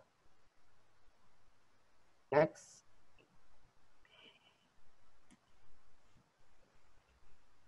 Nah, caranya yang pertama adalah buka art, uh, artikel yang Anda buat di MS Word. Yang setelah kita buat di MS Word itu artikelnya apa, kita buka. Nah, setelah dibuka, kita akan langsung membuat data citasinya. Next.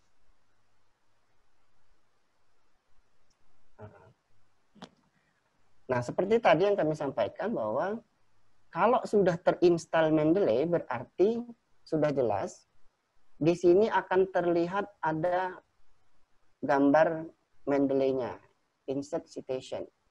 Kemudian insert bibliografi, lalu open Mendeley dan seterusnya yang lengkap ada di bagian khusus di sini. Nah, cara pertama yang harus kita lakukan adalah membuat kutipan. Jadi kita tulis dulu, misalkan ini sudah saya tulis. Setelah ditulis, letakkan kursor di bagian terakhir, eh, bagian yang mau kita jadikan sebagai sumber kutipan itu. Eh, seba, dijadikan sebagai data sumber. Kemudian kita klik insert citation, maka akan muncul dialog seperti ini. Klik saja OK. Nah, kalau sudah, next. Ya, lanjut. Kalau sudah nanti kita akan um, membuat data lagi next. Kita akan dikembalikan ke Mendeley-nya lalu kita cari. Nah tadi tuh ngutipnya mau ke mana gitu. Kita akan mau ngutipnya ke mana ke buku siapa punya siapa. Kita klik setelah kita klik nanti akan muncul langsung seperti ini datanya muncul oh tadi bukunya Jamaluddin misalkan oh berarti akan muncul langsung begini kemudian yang satu lagi Erwin Shah misalnya.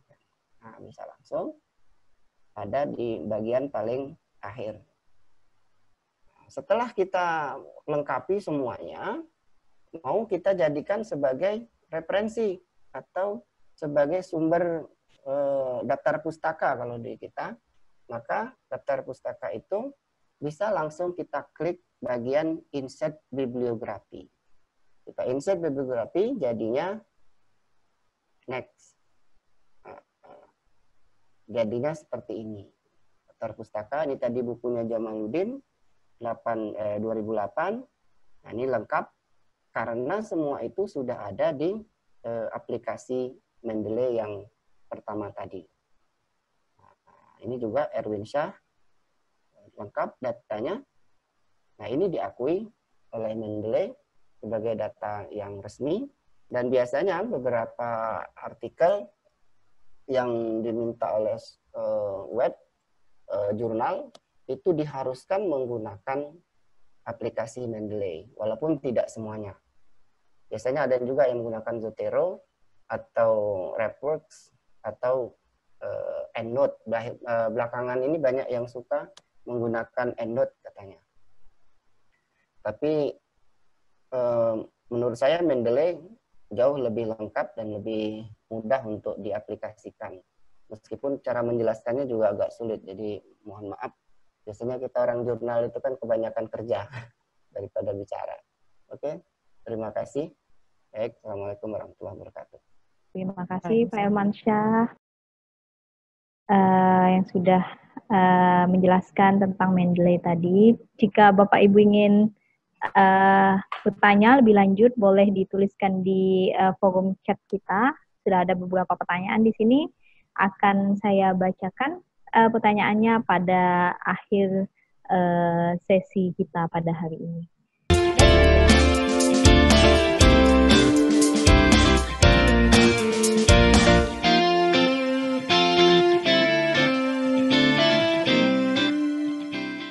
Baik, untuk selanjutnya kita langsung saja ke narasumber terakhir kita. Ini ada Ibu Alda Cendekia. Uh, nama lengkapnya adalah Alda Cendekia Siregar, Eskom MSc. Di sini uh, Bu Alda ini adalah spesialis di bidang komputer ya.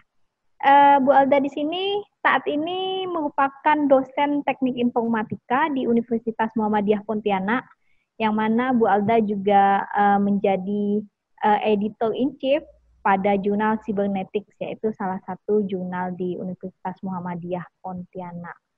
Uh, bagaimana Bu Alda sudah siap? Kita langsung saja. Ya siap Bu Dewi. Ya baik, uh, kita lanjut langsung saja ke Bu Alda. Silakan Bu Alda, waktu dan tempat dipersilahkan.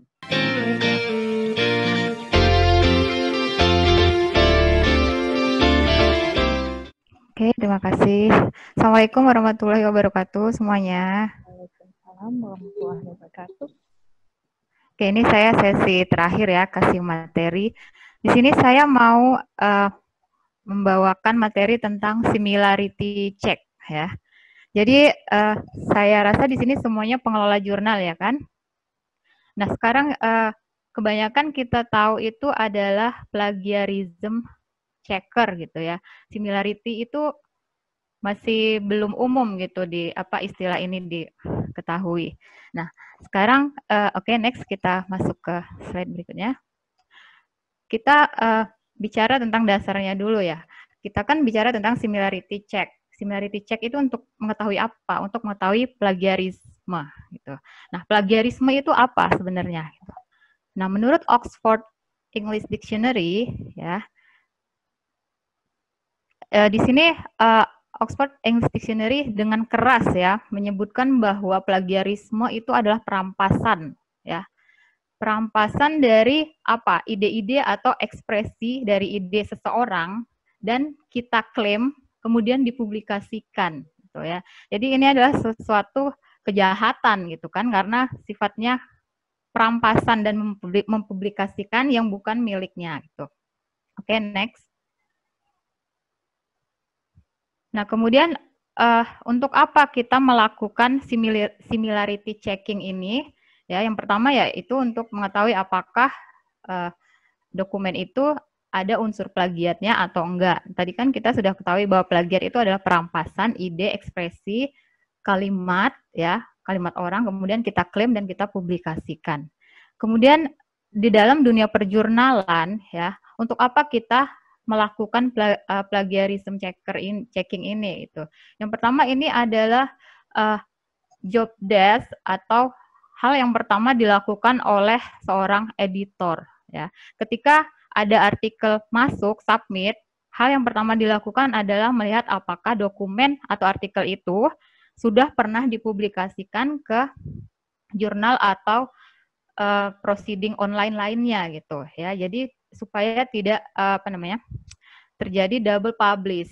Nah ini adalah hal pertama yang dilakukan oleh editor. Jadi uh, dia akan melakukan uh, cek plagiat dari artikel yang masuk pertama kali. Nah untuk hal ini itu setiap jurnal akan menerapkan standar yang berbeda-beda ya. Contohnya untuk jurnal cybernetik yang saya kelola itu kami menerap, menerapkan standar 25% similarity di bawah ya, di bawah 25% similarity yang akan masuk ke tahap uh, review reviewing gitu. Tahap selanjutnya. Nah, se selebihnya ya di 25% ke atas itu akan di reject ya. Jadi tahap pertama adalah apa namanya? sortir, menseleksi tingkat plagiarismenya. Jadi ketika 25% ke atas udah langsung di reject, nggak akan masuk ke proses uh, reviewing gitu. Kemudian yang berikutnya adalah ini uh, ketika kita mau tahu bahwa artikel kita itu bebas dari plagiat atau plagiaris eh, similarity-nya rendah gitu ya, 25% ke bawah, ya itu akan membuat kita tenang gitu ya. Oh, oke, okay, jadi artikel saya ini aman ya. Nah, de, berangkat dari situ itu uh, apa namanya? Uh, uh, artinya ya, artinya bahwa artikel kita itu tidak ada yang menjiplak atau tidak ada yang mengklaim ya jadi sifatnya uh, apa ketika kita tahu apa setelah dicek gitu ya, setelah dicek oke okay, aman dari plagiat bahwa artikel kita belum ada yang ngeklaim, ya itu kan berarti salah satu bentuk perlindungan gitu. Oke, okay, jadi artikel kita aman ya. Jadi setelah kita mengetahui bahwa artikel kita tidak ada yang apa menjiplak itu itu akan membuat kita merasa tenang, aman baik uh, untuk autornya sendiri maupun si penerbitnya gitu. Karena kalau ada yang uh, double claim, eh, double double publish gitu ya. Jadi satu artikel ini publish di jurnal A juga, di jurnal B juga. Nah itu bukan hanya autornya yang kena sanksi gitu ya, tapi si penerbitnya juga, jurnalnya juga yang akan mendapatkan sanksi. Kemudian yang kedua adalah uh, cara bagi editor untuk uh, memberitahu pengarang ya, untuk uh, memberitahu pengarang dan memastikan reputasi terbitan mereka ya. Jadi ini penting untuk setiap pengelola jurnal, jangan sampai ada uh, pengelola jurnal yang men skip uh, tahapan ini gitu ya. Jadi pastikan semua artikel yang publish di jurnal kita itu bebas dari plagiat ya kan karena membawa nama baik jurnalnya sendiri. Kemudian yang berikutnya kejelasan bagi pembaca terkait orang yang menghasilkan karya ya. Jadi uh, sama seperti kita mau melakukan riset penelitian gitu ya. Kan kita kan pasti studi literatur kemudian mana artikel yang sesuai dengan penelitian kita. Nah dalam hal memilih artikel-artikel itu itu kan kita juga harus berhati-hati gitu. Jangan sampai artikel yang plagiat yang kita baca gitu. Jadi harus dari sumber sumbernya gitu. Jadi artikel yang bebas dari plagiat. Oke okay, next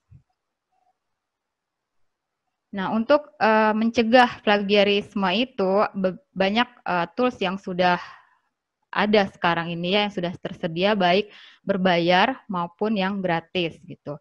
Nah, uh, plagiarism detection tools ini rata-rata web based, jadi berbasis online. Itu nggak ada yang di-download kemudian uh, saya kurang tahu sih ya, sepengetahuan saya semuanya web based gitu. Nah, salah satunya uh, ada beberapa di sini contohnya yang pertama adalah Turnitin ya. Kemudian Identicate. Nah, Turnitin sama Identicate ini satu perusahaan, produksi satu perusahaan. Jadi kayak kakak kakak adik gitu. Turnitin lebih dahulu keluar, kemudian baru Identicate. Ini Turnitin sama Identicate dari uh, produksi dari iParadigm. Kemudian ada yang namanya Copycat, W Copy Find, Plagiarism Finder, Plagiarism Detect itu ber, uh, gratis ya. Jadi bisa uh, secara free mencek artikel kita apakah plagiat atau tidak. Nah, apa bedanya masing-masing tools ini? Ada yang bayar, kemudian ada yang tidak. Apa bedanya? Apakah nanti hasilnya mempengaruhi? Ya. E, di sini bedanya adalah database database-nya ya. Jadi Turnitin itu mempunyai database untuk mengecek plagiat lebih banyak gitu. Jadi Turnitin sama Identicate ini yang paling uh, paling sering digunakan sama ya, institusi pendidikan ya seperti kampus atau sekolah-sekolah ya. Jadi mereka pakainya Turnitin atau Identicate. Nah, tidak terkecuali juga para pengelola jurnal ya karena mereka apa namanya mengecek artikel yang sifatnya ilmiah gitu. Nah, sedangkan yang gratis ya, gratis ini bukan berarti dia jelek ya. Dia hanya uh, prinsipnya ya, prinsipnya adalah plagiarism detection itu kan kita membandingkan kemiripan artikel yang mau kita cek dengan beberapa banyak artikel yang sudah ada di database-nya si tools-tools ini gitu. Ya, jadi ketika database-nya semakin banyak ya, maka peluang kita menemukan plagiarismenya juga tinggi gitu. Tapi kalau database-nya sedikit ya sedikit juga hasilnya gitu. Jadi bedanya hanya itu saja gitu. Nah, rata-rata uh, jurnal yang uh, reputasi uh, bereputasi itu mereka meminta uh, apa namanya report originality-nya itu uh, report plagiarismenya itu menggunakan ya Turnitin atau enggak Identicate ini gitu. Oke, okay, next.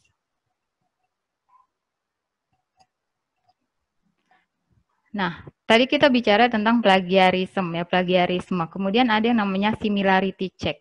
Ini jangan salah diartikan bahwa uh, plagiarism itu uh, berbeda dengan similarity check ya. Jadi similarity check ini adalah produk dari Crossref ya. Jadi Crossref ini uh, seperti yang teman-teman pengelola jurnal pasti tahu ya Crossref itu apa ya. Crossref itu adalah lembaga pendaftaran DOI, Digital Object Identifier.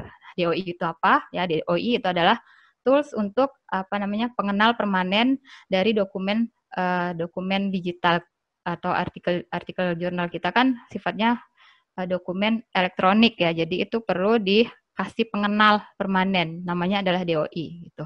Nah, si Crossref ini punya service atau layanan yang banyak yang bisa teman-teman pengelola jurnal gunakan gitu. Nah, salah satunya adalah similarity check ya. Jadi uh, Crossref ini uh, unik memberi nama plagiarism detection-nya. Mereka bilangnya similarity check. Meanwhile di kebanyakan tools mereka pasti bilangnya plagiarism detection, tapi kalau Crossref bilangnya similarity check. Oke. Okay. Kemudian uh, ya jadi Crossref ini adalah produk dari eh, maksud saya similarity check ini adalah produk dari Crossref. Nah, Crossref menggunakan Identicate untuk mengecek similarity. Ya. Jadi Crossref bekerja sama dengan Identicate, sedangkan Identicate itu adalah kakaknya si siapa? Turnitin ya. Jadi mereka tiga ini bekerja sama. Bekerja samanya bagaimana ya?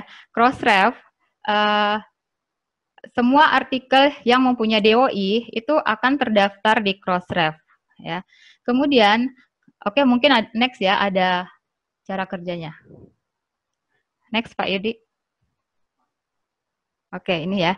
Jadi yang pertama saat uh, kita membaca artikel atau kita punya artikel nih, kita mau tahu karya ini asli atau uh, plagiatnya tinggi, rendah atau enggak gitu ya. Kemudian uh, masuk ke dalam tools si similarity check ini ya. Kemudian similarity check menghubungkan penerbit dan penyunting editor ya dengan alat Authenticate, tools Authenticate. Jadi uh, Crossref bekerja sama dengan Authenticate dari Turnitin. Kenapa Turnitin? Ya karena Turnitin yang mempunyai database artikel online, dokumen online paling banyak gitu ya. Jadi dia pakainya database si Turnitin untuk mengecek similarity artikel yang mau kita tahu plagiarismenya gitu, plagiarismenya. Kemudian manuskrip yang diserahkan kemudian diperiksa terhadap sebuah basis data yang berisi jutaan artikel ke keilmuan yang diterbitkan. Nah, ini punyanya si Turnitin ya. Jadi Turnitin itu mempunyai banyak artikel keilmuan ya, mulai dari ya macam-macam lah ya kedokteran, teknik eh, apa namanya pendidikan dan sebagainya. Oke, okay, next. Nah, kemudian uh, ya dari database uh, artikel online yang dipunyain sama Turnitin atau miliaran halaman web ya. Jadi Bapak Ibu semua membayangkannya kita punya data online uh, artikel online kemudian disamakan dengan satu-satu artikel dokumen atau halaman web yang semuanya itu adalah online. Jadi kita nggak bisa uh, ngecek kalau misalnya kita punya artikel online kemudian disamakan dengan satu textbook gitu yang bentuknya print itu nggak akan bisa kalau cara kerjanya uh, apa namanya similarity check ini atau plagiarisme plagiarism detection yang lainnya yang yang sifatnya online. Ya jadi online dibandingkan dengan online juga gitu. Kemudian setiap kecocokan disorot dengan seketika di dalam laporan.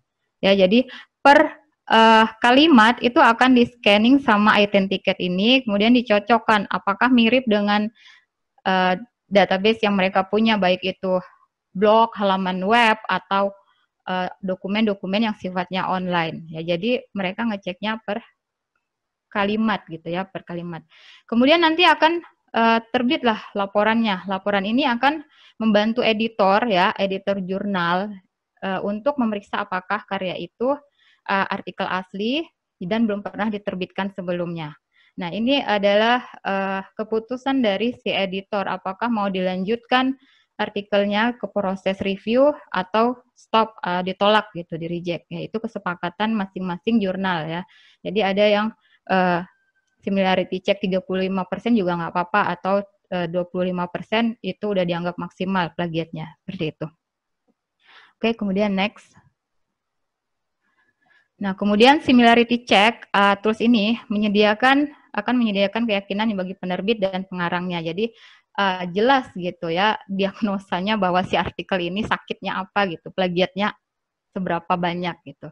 Nah, jadi uh, kalau misalkan ada uh, apa namanya author yang submit ke jurnal kita tapi dia tidak melampirkan uh, report originality-nya atau apa report plagiarismenya, di kami di cybernetic kami akan mengecek dengan cara seperti ini gitu. Nah, di sini saya cantumkan uh, link.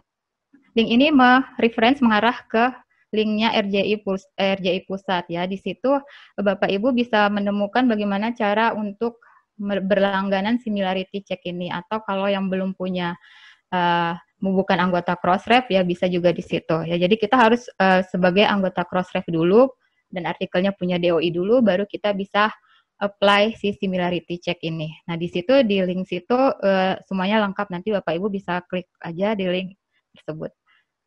Oke, okay, next. Nah, ini adalah bentuk tampilan identiketnya. Jadi dia web based ya. Kita perlu login, kita perlu internet supaya bisa mengakses si identiket ini. Nah, ini berlangganan dan berbayar ya. Jadi ketika kita sudah punya akun, maka uh, log login tampilannya akan seperti ini ya. Di sini tampilannya eh, yang tampil di sini adalah artikel-artikel yang sudah saya cek plagiatnya. Kemudian ada kolom report di situ ya, ada 17%, 40%, 29%, itu adalah indeks similarity similarity-nya. Jadi seberapa besar kemiripannya uh, misalkan 17% yaitu kemiripannya dengan artikel-artikel lain uh, 17%. Nah, kemudian di submit a dokumen itu ada pilihan upload a file, jadi kita mengupload filenya satu-satu atau rombongan nih, zip file upload. Kadang kan kita males nih ya, ngeklik satu-satu. Sedangkan yang submit di kita banyak gitu, misalkan ada 10. Ya udah 10-10-nya itu dimasukkan ke dalam dikompres ke bentuk zip ya, zip file, kemudian diupload. Nanti uh, akan tergenerate sendiri di My Document ini. Jadi apa namanya 10-10-nya itu akan langsung dicek plagiatnya. Jadi nggak perlu satu-satu. Nah enaknya ticket seperti itu. Tapi kalau yang lain saya nggak tahu ya mungkin ada juga menunya. Oke okay, next. Nah ini uh, adalah kolom-kolom yang perlu kita isi sebelum kita uh, apa namanya melakukan cek plagiatnya ya. Jadi harus ada ini sebenarnya tidak harus sih, cuma supaya rapi aja biasanya kita isi. Jadi author first name-nya siapa, last name-nya siapa, dokumen title. Nah, kalau misalkan di jurnal yang sifatnya blind review, kalau uh, cybernetic itu kan blind review ya. Jadi sebelum masuk ke tahap ini, kita hapus dulu semua identitasnya. Ya, jadi kalau di Word, uh, Microsoft Word itu ada uh, menu inspect elemen, kemudian hapus header, footer, dan identifier lainnya. Jadi dihapus dulu, baru kemudian kita masukkan ke apa namanya item ticket ini. Oke, okay, next. Nah, uh, ini adalah hasil dari uh, screening uh, apa namanya plagiatnya ya. Jadi bagaimana hasilnya ya seperti ini. Nah, itu kalimat-kalimat uh, yang di bold atau diwarnain itu adalah terdeteksi plagiat ya. Nah, ini saya kurang teliti ya. Ini harusnya uh, naskah masuk dan seterusnya itu juga harusnya dihapuskan. Kemudian uh, kita lihat yang 13, 13 itu warnanya uh, merah ya. Nah, merah itu di sebelah kanannya match overview meng, mengindikasikan bahwa kalimat tersebut mengambil dari uh, apa itu kalimatnya Carmila Yusnita dan seterusnya. Ya, jadi sebesar 3%. Nah, jadi uh, ini juga berguna sebenarnya kalau misalkan buat uh, apa namanya kita mau apply mau apply atau publish ke satu jurnal ya kemudian kita mau tahu nih kalimat kita ini mirip nggak dengan uh, apa mirip dengan orang lain apa enggak gitu ya jadi ketika udah tahu begini ya segera di parafrase atau diganti kalimatnya gitu ya jadi ini berguna selain untuk mengelola jurnal juga buat dosen yang mau publikasi ke jurnal lain gitu oke okay, next Nah, uh, setelah tadi apa dicek similarity-nya ya, kemudian kita download. Nah, hasil downloadnya akan berbentuk PDF. Kemudian ada reportnya, originality report sebesar 14% similarity index-nya. Nah, kemudian di situ ada sumber-sumbernya seperti nomor tiga itu ya. Nah, kalimat itu dia ambilnya dari J, J jetik ya jetik.ub.ac.id bahkan sedetail itu. Jadi kita bisa menelusuri ini anak atau mahasiswa misalnya ya. Anak ngambil kalimat ini nyonteknya dari mana sih gitu. Itu uh, source-nya ada di situ gitu. Oke okay, next Oke, dari saya mungkin uh, sekian. Terima kasih. Nanti kalau tidak ada, uh, kalau ada yang kurang jelas bisa kita tanya jawab. Itu aja. Bu Dewi, terima kasih. Assalamualaikum warahmatullahi wabarakatuh. Waalaikumsalam warahmatullahi wabarakatuh. Terima kasih Bu Alda di sini.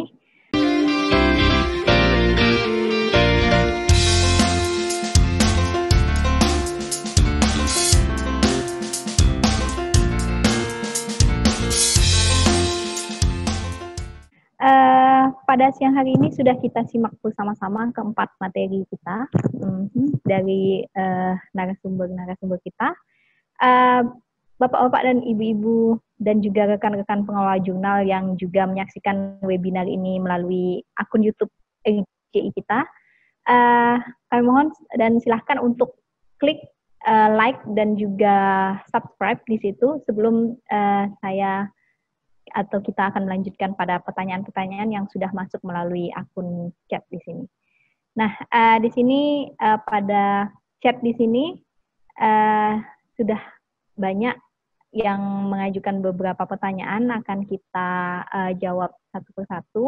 Yang pertama dari Ibu Nur Azizah Syahrana Di sini uh, Ibu Nur Azizah menanyakan tentang bagaimana dalam membuat double blind, terutama menyembunyikan data reviewer, dan apa tindakan kita kalau misalkan reviewer merekomendasikan untuk ditolak. Nah, uh, hampir sama juga pertanyaannya dengan Pak Fahgu, bagaimana cara mengaktifkan double blind uh, review di OJS 2, yaitu di mana? Uh, di sini langsung saja dijawab pertanyaannya Pak uh, Yudi atau Bung Ibra dipersilahkan karena uh, materi ini berkaitan dengan uh, Bung Ibrar ya. Bung Ibrar boleh masuk atau Pak oh, iya. Yudi? Ya, boleh. silahkan. Ya. Terima kasih atas pertanyaannya tadi membuat double blend review ya. Sebenarnya double blend review itu ada dua persepsi ya Bapak Ibu. Tadi dari Ibu ya. Ada dua persepsi. Yang pertama tadi udah dijelaskan oleh materi Mbak Alda di inspeksi ya. Terus nanti ada klik uh, dihapus semua nama uh, dari footer maupun headernya ya kalau nggak salah saya tadi yang saya dengar. Kemudian yang kedua itu bisa dilakukan di OJS 2 maupun OJS 3 yaitu kalau pada OJS 2 mungkin saya tampilkan dulu ya biar lebih jelas eh, mana yang ngambil agak susah ini nampilkannya di mana eh, oke okay. ini chat lah oke okay. kalau di OJS 2 itu Bapak Ibu masuk sebagai jurnal manager nanti Ibu masuk di bagian uh, jurnal selesai ya kayak gitulah kalau nggak salah saya bahasa Inggrisnya nah di bagian jurnal selesai itu hmm, entar ya. Saya share kok nggak mau. Udah kelihatan bapak ibu? Nah misalnya nah, misalkan ini ya. Saya pinjam punya orang ini. Saya masuk masuk aja. Jadi nanti Bapak Ibu masuk di bagian di uh, yang kedua, tahapan kedua di Journal Plus Size, yaitu pada bagian di preview 2.2, terus di bawah ini ada tulisan namanya blend review. Nah, tinggal dicentang aja Bapak Ibu kalau yang OJS 2. Ya. Uh, di sini yang kedua, kalau yang tadi, kalau ini diatur di sistem OJS-nya, blend review. Kalau yang tadi, yang pertama itu kita menghapus di naskahnya. Nah, keseringan di naskahnya ini yang ya, tidak kita hapus, padahal blend review juga berlaku pada naskahnya. Jadi ketika diaplikasikan gini, jadi dia tidak bisa melihat namanya, kemudian di naskahnya juga dihapus semua identitas dari penulis. Nah, kemudian kalau di OJS 3, Bapak Ibu, aduh. Nah, di OJS 3, Bapak Ibu masuk di bagian uh, setting, di workflow, itu di bagian uh, review.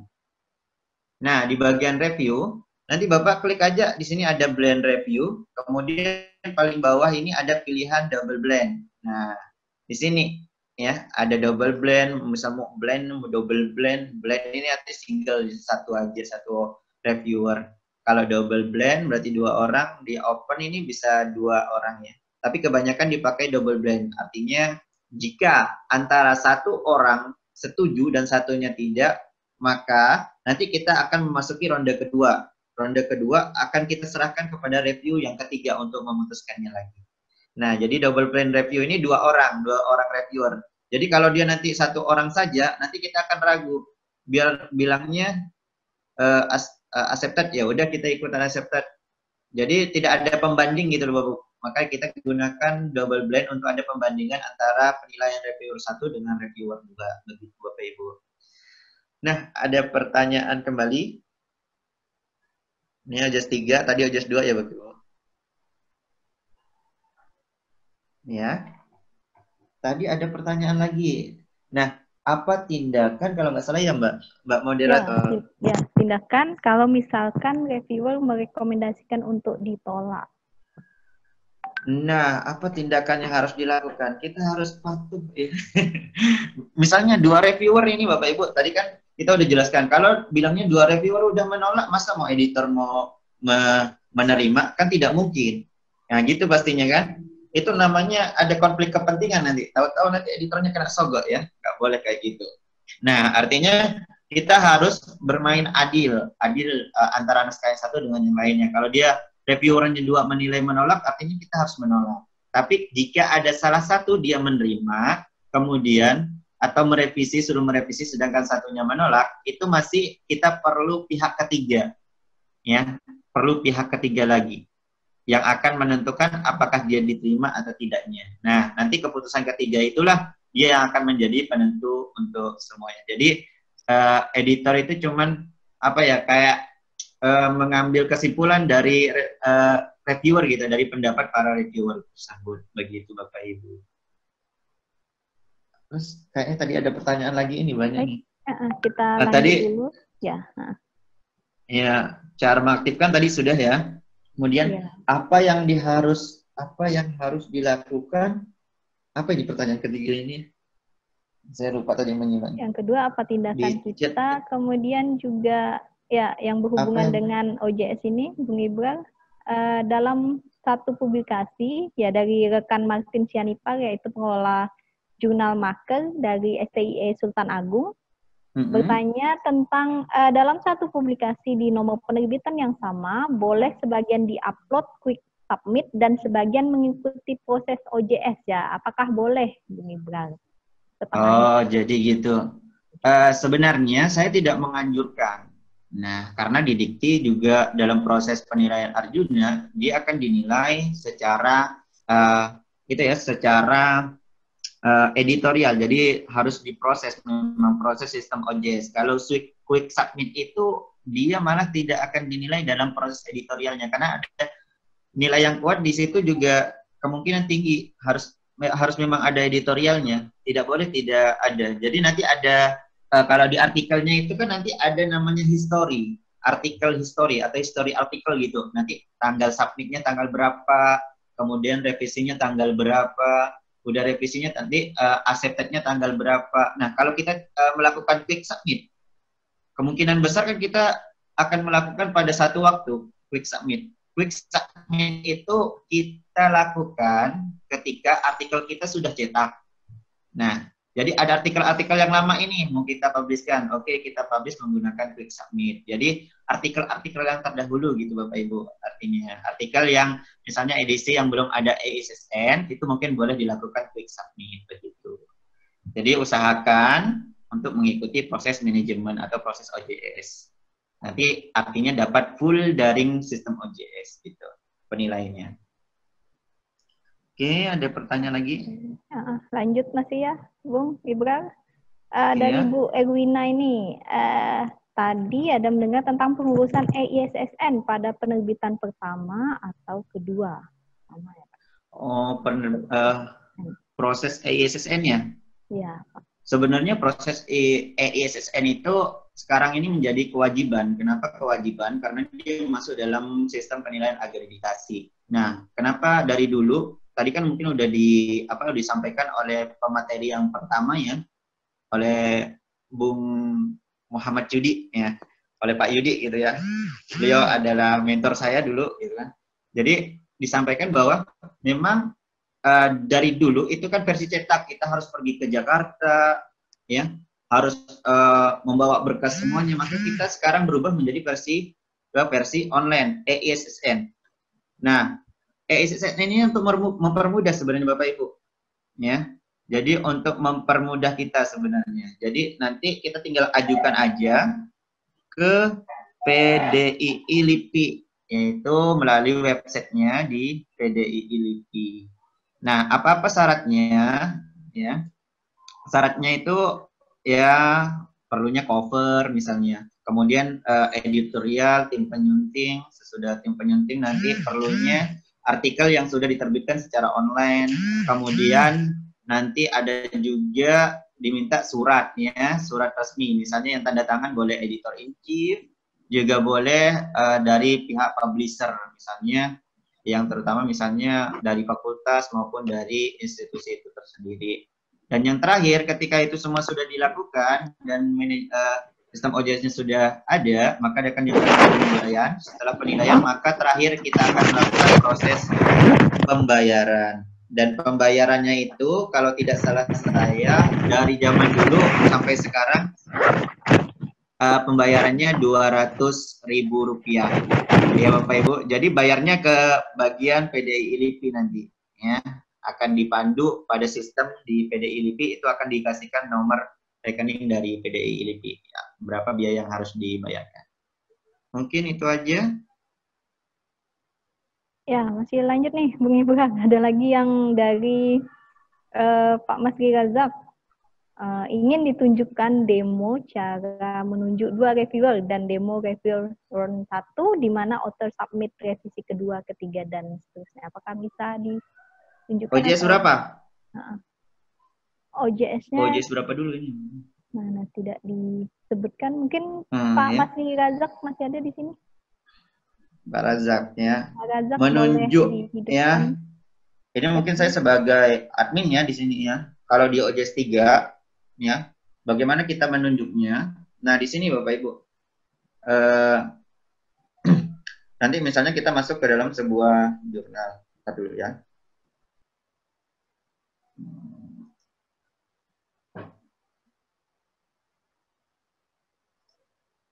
Nah, ini kan Misalnya nih yang udah aktif nih, Bapak Ibu. Nah, yang udah review aja deh. Eh, nanti ketahuan nanti reviewernya ini. nah, oh takut saya nih, takut ketahuan saya reviewernya. Jadi, eh, begini aja.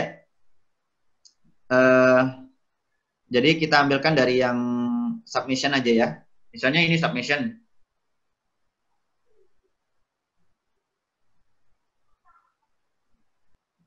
Oh, enggak ada. Secondary submission yang udah terbit aja ya Bapak Ibu biar enak. Nah, misalnya ini. Nah, saya akan tunjukkan uh, caranya. Jadi dia di sistemnya di saat dia send to review. Nah, ini kan udah publish ya Bapak Ibu. Jadi nggak apa-apa lah kita buka sedikit-sedikit. Nah, Nah, di sini kita akan menunjukkan reviewernya Bapak Ibu. Ya, kalau di OJS 3. OJS. Ya. Maaf, uh, Bung Ibrahim, OJS Di OJS 3 itu di sini. OJS, OJS 2. Ya. Udah kelihatan ya Bapak Ibu? Belum. Jangan belum. saya jangan terlalu lama ya, tampil nanti di YouTube ini. di OJS 2, Bung Ibrahim. Ya. OJS 2. Kata Ini OJS 3 ya. Nah, kalau OJS 2 ini kebetulan punya seseorang ya dari Tampilannya Pontianak. Saya pinjam aja sih. Ya. Tampilannya belum Nah, ini OJS uh, 3, ya OJS 2. Kalau di OJS 2 itu tampilannya sebenarnya tadi di PowerPoint saya ada. Share screen-nya, share screen-nya ya, Tapi kalau mau di jurnalnya itu bisa di bagian uh, review. Jadi di bagian review itu nanti misalnya ini ya. Aduh, jurnal manager.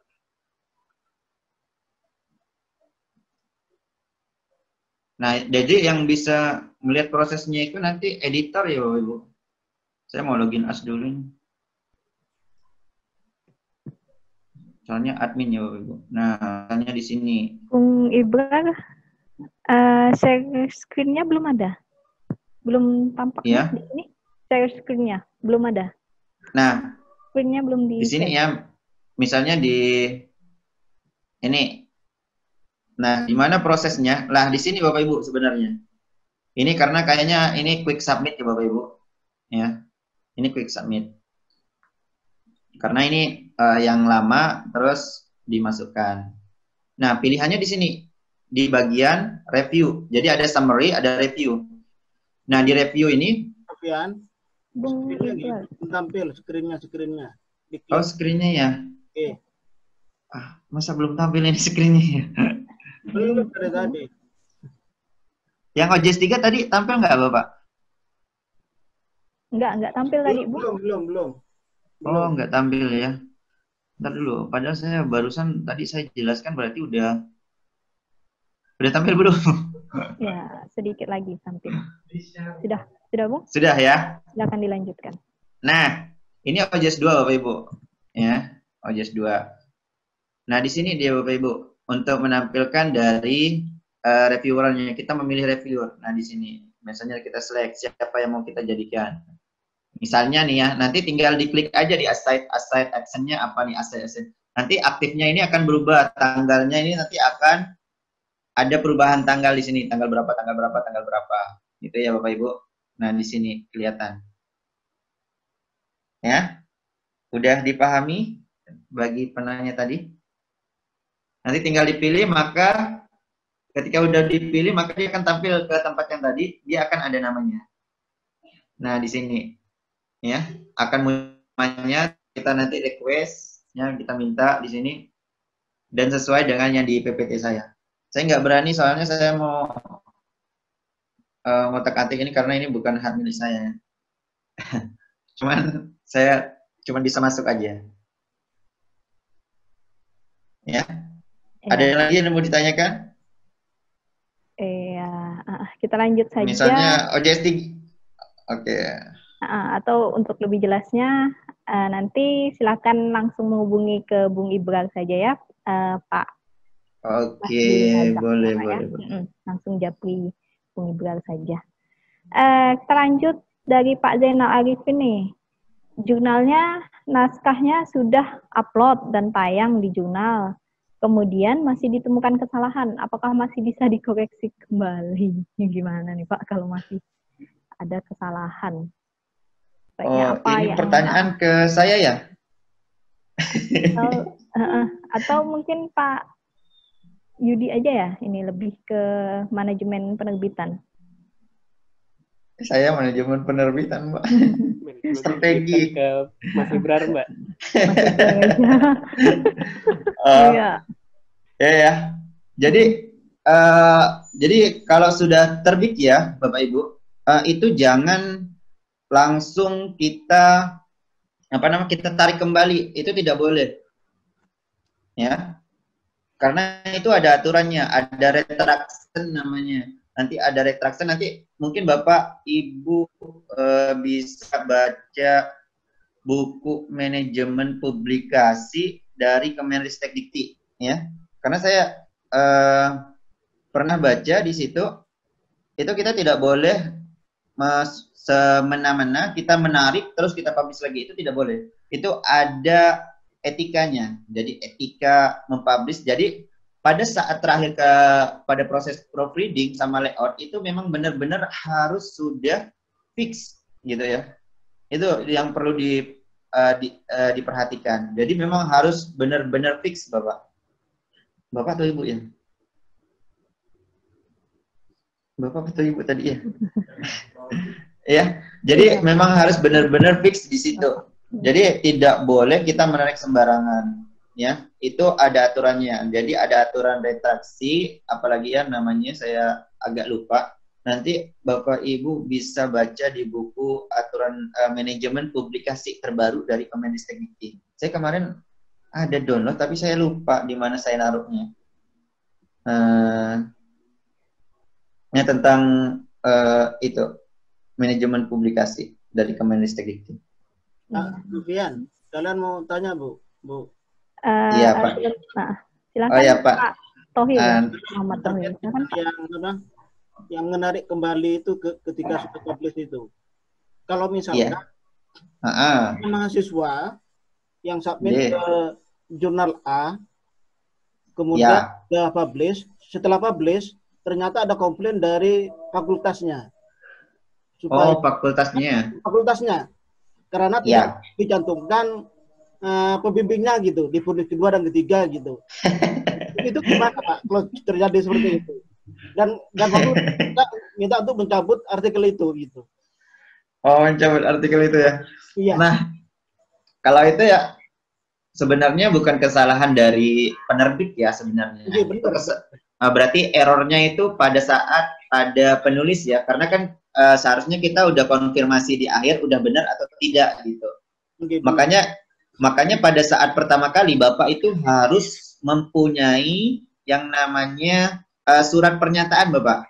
Okay. Ya, surat pernyataan. Nah, di surat pernyataan itu kalau dia mengklaim maka Bapak bisa ngajukan ke hukum. Makanya di tanda tanganin materai 6000, Pak. Oh. Yeah. Jadi tanda tangan enam ribu. Jadi di situ ada uh, pernyataan statement tentang uh, penulis, nama-nama penulis siapa saja. Nah ya.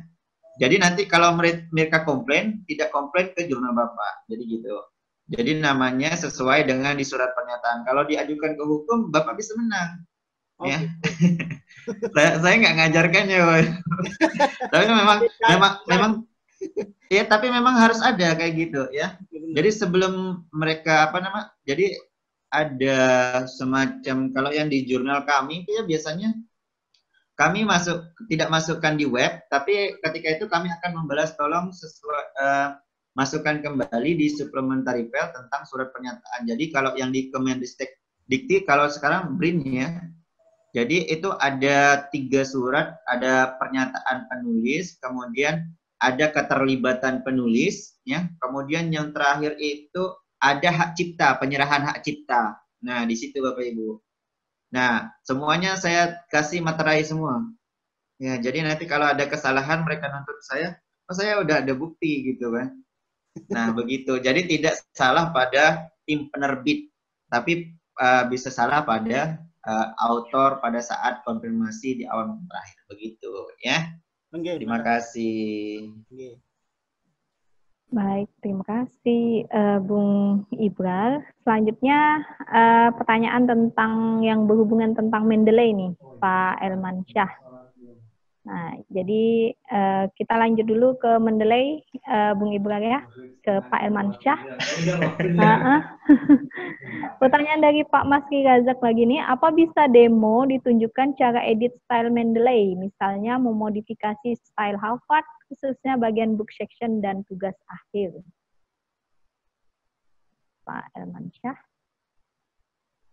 Pak Mas Razak minta ditunjukkan demo cara edit style Mendeley. Dan pertanyaan selanjutnya adalah bagaimana memperlakukan referensi buletin atau majalah dari terbitan lembaga profesi di Mendeley? Apakah sebagai magazin, uh, magazine atau artikel, mengingat majalah juga punya volume dan nomor terbitan? Mungkin pertanyaan ke silahkan dijawab, Pak. Terima kasih. Tadi pertanyaannya bagaimana demo untuk uh, mengedit dari Harvard ke apa? Uh, ya. apa? Nah di sini kan sudah ada uh, uh, file, apa namanya tools yang terkait dengan citation style. Nah bisa diklik di sini tapi ini untuk di awal. Kalau untuk di akhir untuk di uh, bukunya itu ini tampil nggak buku saya ini ya? Nggak ya? Kalau belum tampil, ini Pak. Di, ya? Belum tampil Pak. Oh belum ya? Uh, ntar saya ambil di bukunya proposal disertasi. Ah ini sudah ya? Ya sudah Pak. Nah, kalau yang tampil di sini, kita bisa langsung mengedit. Nah, ini kan tadi saya beri contoh, ini sudah model Harvard. Ini mau saya edit ke model yang lain. Nah, di sini kan ada. Tinggal pilih di bawah lambang ini ada term right ini. Kita tinggal pilih model apa yang mau dipakai apakah model uh, American Political Science Association atau model yang lain. Kita bisa juga pakai yang uh, asas misalkan seperti ini. Kita tinggal klik saja sudah berubah secara langsung. Nah, mau kita kembalikan ke model uh, yang seperti biasa seperti Harvard tadi juga bisa langsung berubah lagi. Coba diperhatikan. Nah, perubahannya seperti ini aja. Ini untuk yang demo perubahannya. Jadi caranya tinggal di blok yang sudah kita bentuk tadi, yang kita buat tadi. Kemudian di sini tinggal diklik bagian uh, stylenya ini, tinggal, tinggal kita pilih mana yang mau kita pakai. Nah, setelah dipilih, dia akan berubah sendiri. Nah, ada perbedaan antara yang pertama tadi dengan yang sekarang. Nah, ini model IEE, model i3. Oke, ini untuk pertanyaan yang pertama. Sekaligus tadi pertanyaan yang kedua, Bu ya? Iya, Pak. Ya. Selanjutnya. Suaranya kecil, Gi. Masih masih kecil Pak suaranya? Iya, Pak, kecil, Pak. Saya pegang aja mic-nya lah. Iya, Pak. Baik. Untuk yang kedua tadi apa Bu ya? Lupa saya. Uh, yang kedua ini bagaimana memperlakukan referensi buletin atau majalah dari terbitan lembaga profesi di Mendeley? Apakah sebagai magazine atau artikel? Mengingat majalah juga punya volume dan nomor terbitan, Pak. Bagaimana ya. jika bentuknya adalah majalah, Pak? Kalau kita itu, nah ini kembali ke aturan ya. Aturan eh, dari penulisan sitasi itu sendiri. Kalau kita punya aturan biasanya itu tetap berdiri sendiri ya. Tetap berdiri sendiri sebagai buletin ataupun sebagai magazine. Kalau misalkan sebagai buletin, eh, saya buat, ntar dulu. Kalau sebagai magazine itu kita bisa bentuk diambil magazine, tapi sebagai buletin juga tetap kita ambil sebagai buletin. Contoh kalau buletin kan seperti ini. Ya, saya blok di sini. Satu. Kalau yang buletin. Ini dia buletin ada volume, volume ke berapa, ada di halaman berapa sampai berapa ini penulisnya ini. Jadi kalau buletin, tapi kalau dia magazine ya magazine gitu. Jadi berdiri sendiri. Tapi tergantung kepada jurnal yang bersangkutan dia punya kebijakannya seperti apa terkait dengan buletin dan magazine itu sendiri. Baik, saya kira itu untuk pertanyaan pertama dan pertanyaan kedua. Oke, Pak. Mungkin yang pertanyaan tentang Mendeley ya itu saja, Pak. Kita Ada satu lagi lanjut. tadi yang Erwina. Oh ya, Bu sebentar Bapak. Ya ya, Bu Ewina. Pertanyaan ya. tentang Mendeley, apakah cara memindahkan file di folder Mendeley yang sudah fix kalau kita menggunakan laptop yang berbeda dari sebelumnya? Oh ya, baik. Kalau untuk file yang sudah folder maksudnya ya, file di dalam folder yang sudah tersimpan di Mendeley itu kembali ke akunnya. Kita pakai akun yang mana? Kalau akunnya baru ya dia tersimpan baru lagi. Tapi kalau akunnya masih akun yang lama, walaupun komputernya berbeda-beda, HP-nya berbeda-beda mungkin, itu berarti tetap yang tersimpan adalah data yang sudah kita masukkan pertama. Jadi tidak akan hilang. Itu tadi ada jawaban dari kawan tuh, justru apa istilahnya, dia akunnya yang ikut gitu, ikut akunnya saja. Kalau akunnya dibuka di laptop mana pun, tetap Eh, sumbernya eh, data yang sudah tersimpan tetap sama karena di aplikasi. Tapi kalau saya pribadi biasanya itu mengantisipasinya kalau terjadi hal-hal yang tidak diinginkan. Biasanya antisipasi yang saya lakukan adalah dengan cara menyimpan ini menyimpan setiap uh, data sumber saya sebut dengan istilah bank data. Jadi data sumber itu di dalam satu folder itu double. Folder pertama adalah folder yang terkait dengan artikel yang kita susun saat itu. Jadi yang semua sumber yang terkait dengan artikel itu masuk di dalam satu folder yang sama dengan artikel itu. Nah, setelah uh, sumber ini terkumpul semua, saya masukkan lagi ke bank kutipan khusus. Jadi ada dua sumber, ada dua folder maksud saya, dua folder yang tersimpan untuk mengamankan folder yang kalau suatu saat terjadi hilang. Dan folder itu ketika dimasukkan di Mendeley, itu semua bisa terpakai. Nah, kalau double dia nanti kan bisa di merge.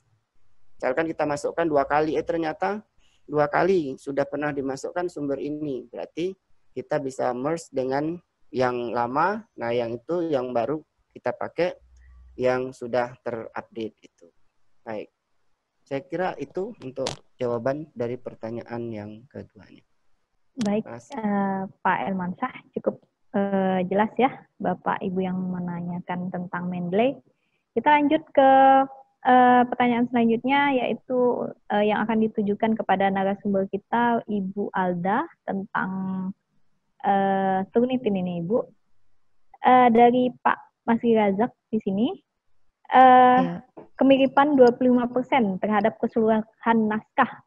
Apakah uh, yang biasa muncul di laman Turnitin itu apakah kemiripan kemiripan 25 persennya juga bisa terhadap satu artikel. Misalnya terdapat beberapa kalimat di manuskrip yang kemiripannya 25 persen terhadap satu artikel, meski secara overall itu uh, kemiripannya kurang dari 20 persen. Dan Bagaimana dengan manuskrip yang satu paragrafnya ternyata 100% mirip dengan sumber tertentu, tapi secara keseluruhan kemiripannya itu kurang dari 25%.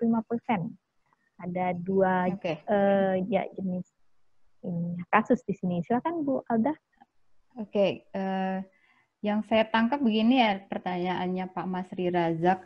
Uh, jadi ketika di scan plagiatnya, kemudian per kalimat itu misalnya similarity-nya 100%, tapi overallnya di bawah ya setelah semuanya di scan itu hanya 25% atau kurang.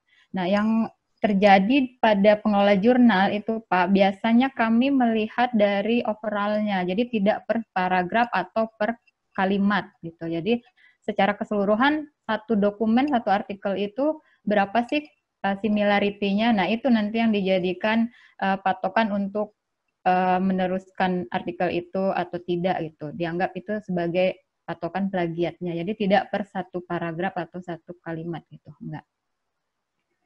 Kemudian ada lagi, Bu?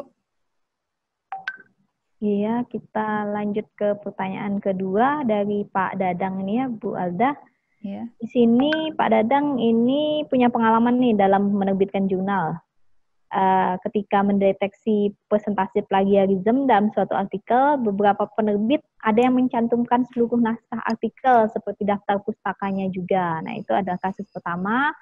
Tapi ada juga yang melakukan penyuntingan atau menghilangkan dulu daftar pustakanya baru melakukan pendeteksian begitu, Bu. Jadi yeah. ya ada okay. kedua kasus. Ya, ini Pak Dadang ya, Pak. Uh, yang saya lakukan di cybernetics itu Pak tapi saya pernah juga ya. Jadi saya mencoba dua dua artikel nih. Yang pertama itu uh, saya tidak menghapus dap, uh, daftar pustakanya. Jadi referensinya tetap saya biarkan. Kemudian yang kedua itu saya hilangkan uh, referensinya. Ya. Uh, perbedaannya tipis tapi signifikan juga kalau untuk me, apa namanya mengetahui tingkat plagiatnya. Jadi yang saya tidak hapus itu sebesar 17% overall uh, similarity-nya. Kemudian ketika setelah saya hapus itu berubah menjadi 11 persen ya. Jadi ada apa namanya selisih 6 persen. Nah, kalau misalkan kita patok untuk jurnal kita menerima hanya 25 persen uh, ke bawah gitu ya, dan uh, orang ini uh, tidak dihapus dapusnya tapi uh, plagiatnya uh, 20 per 20 persen itu ya. Nah, itu kan agak mempengaruhi juga gitu ya. Jadi uh, ini tergantung dari jurnal pengelola jurnalnya masing-masing sih Pak. Nah, tapi kalau di kami di saya saya hapus karena tidak ada indikasi plagiat sebenarnya kalau kita menyem, apa mengetik uh, apa namanya referensi ya kan. Karena nggak mungkin juga mengubah struktur daftar pustaka biar nggak plagiat caranya bagaimana ya nggak ada ya memang seperti itu bakunya gitu. Jadi ketika itu dianggap plagiat kan agak nggak masuk akal gitu. Jadi uh, ada baiknya itu dihapus dulu untuk menghindari hal-hal seperti ini gitu. Ada lagi Bu Dewi? Mungkin untuk uh, plagiarisme ini cukup itu saja Ibu. Maaf. Karena yeah. pertanyaan selanjutnya ini ada uh, pertanyaan Mbak. ya. Di YouTube, YouTube, YouTube. Iya, iya. Kita lanjut ke ya manajemen ini, ke manajemen. Bukan, ya. bu Ada yang bukan. Oh, yang di ini, yang oh, iya, saya bacakan aja ya. Ya. Apakah kalau persentase kesamaan di atas 25% itu dari Polkesel langsung dicap sebagai plagiat? Dan bagaimana kalau kita sebagai pengelola jurnal menentukan naskah di mana similarity-nya di atas 25%? Apakah langsung ditolak dari uh, Polkesio Jurnal? Kemudian ini warna-warna pada angka di primary source itu maknanya apa? Itu Mbak pertanyaan kedua. Okay. Terus yang terakhir ini apakah kalau dicek di suatu jurnal similarity misalnya 20%, kemudian apakah jurnal tersebut langsung ditolak atau dikembalikan kepada penulis untuk diperbaiki? Nah, begitu. Oke, ada tiga pertanyaan ya, ya jadi ya. Iya, ini saya kebetulan nyimak di YouTube. Oke, oke, siap. Jadi yang pertama ya. yang pertama itu uh, apakah 20 uh, eh, ketika 25% misalkan ya, itu indikasinya plagiatnya apa gitu ya. Nah, kalau di item tiket itu uh, reportnya ada ya. Jadi misalkan 11% itu uh, apa ya? 25% itu ya medium plagiat. Kemudian ketika 60 65% itu udah apa ada ada keterangannya kalau nggak salah. Bentar ya. Nah ya jadi enaknya kalau kita pakai plagiarism tools yang berbayar yaitu dia kasih tahu ini seberapa parah tingkat plagiatnya gitu. Tapi ini nggak nggak ada di uh, plagiarism detection yang ber, ber, apa yang gratisan gitu. Jadi kalau yang berbayar itu ada dia kasih notif bahwa ini uh, kecil plagiatnya, kemudian sedang, kemudian tinggi ya. Jadi nanti terserah dari si pengelola jurnal aja apakah yang medium ini yang tingkat plagiatnya sedang ini mau diterima juga atau tidak gitu. Jadi kan kebijakan masing-masing pengelola beda-beda ya standar plagiat yang diterima atau enggak itu yang seperti apa. Itu yang pertama. Kemudian yang kedua tadi pertanyaannya uh, warna ya. Tanda warna di dalam item tiket itu dia hanya kasih tahu aja bahwa uh, apa kalimat pertama itu sumbernya A, kalimat kedua sumbernya B. Jadi setiap sumber yang berbeda itu akan diwarnain dengan warna-warna yang berbeda juga gitu. Oh, untuk kan biasanya ada maknanya Mbak. Uh, biasanya kan ada warna merah, warna hijau, warna biru. Sebenarnya yang diperbaiki yang tingkat sama itu yang warna merah ataukah warna hijau itu gitu. Oke ya, jadi ya, itu iya.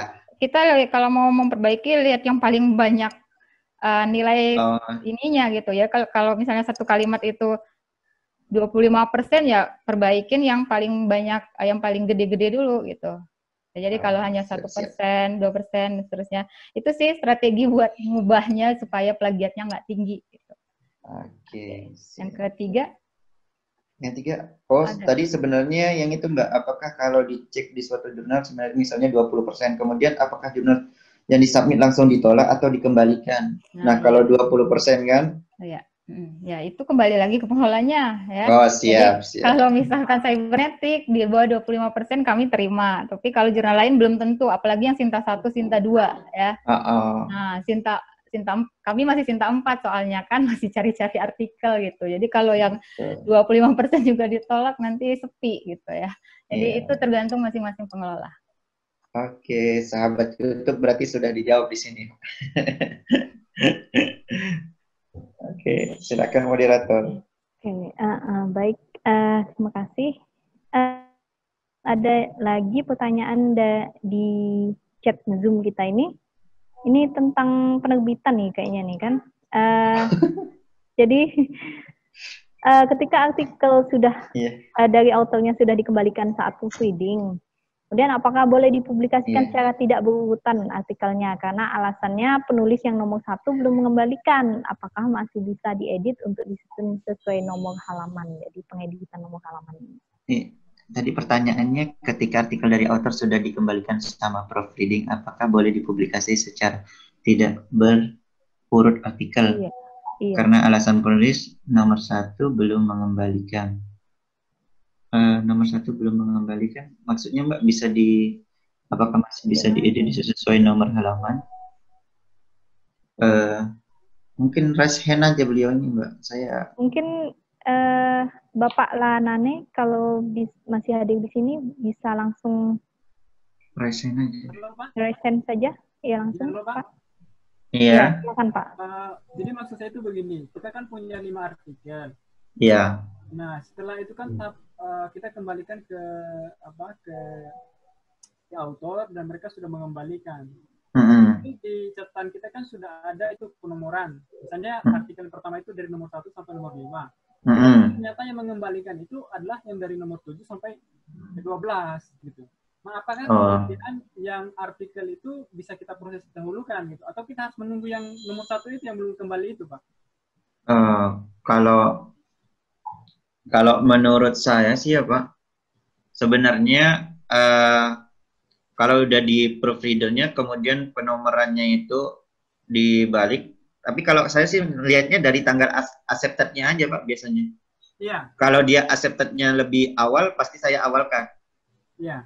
Uh, uh, tapi kalau dia accepted-nya di akhir, biasanya saya akhirkan gitu. Kalau kalau di kami ya, kalau gitu.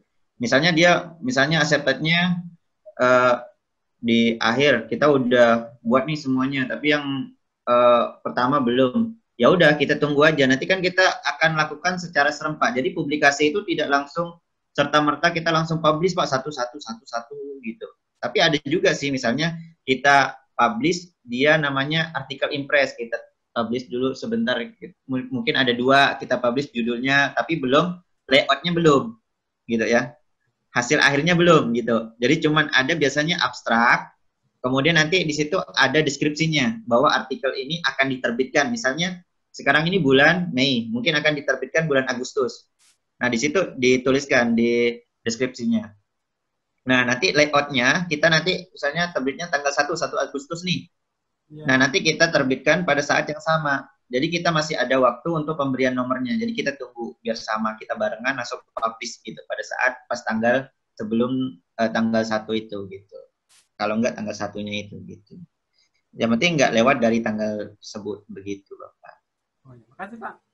Iya, sama-sama. Ya, makasih, Pak uh, Lanane. Uh, masih nih Bung Ibral. Satu lagi pertanyaan. Oh, iya, iya. ya, bagaimana jika naskah dipublish tanpa izin dari pemilik artikel, kemudian pemilik artikelnya ini komplain ke jurnal kita?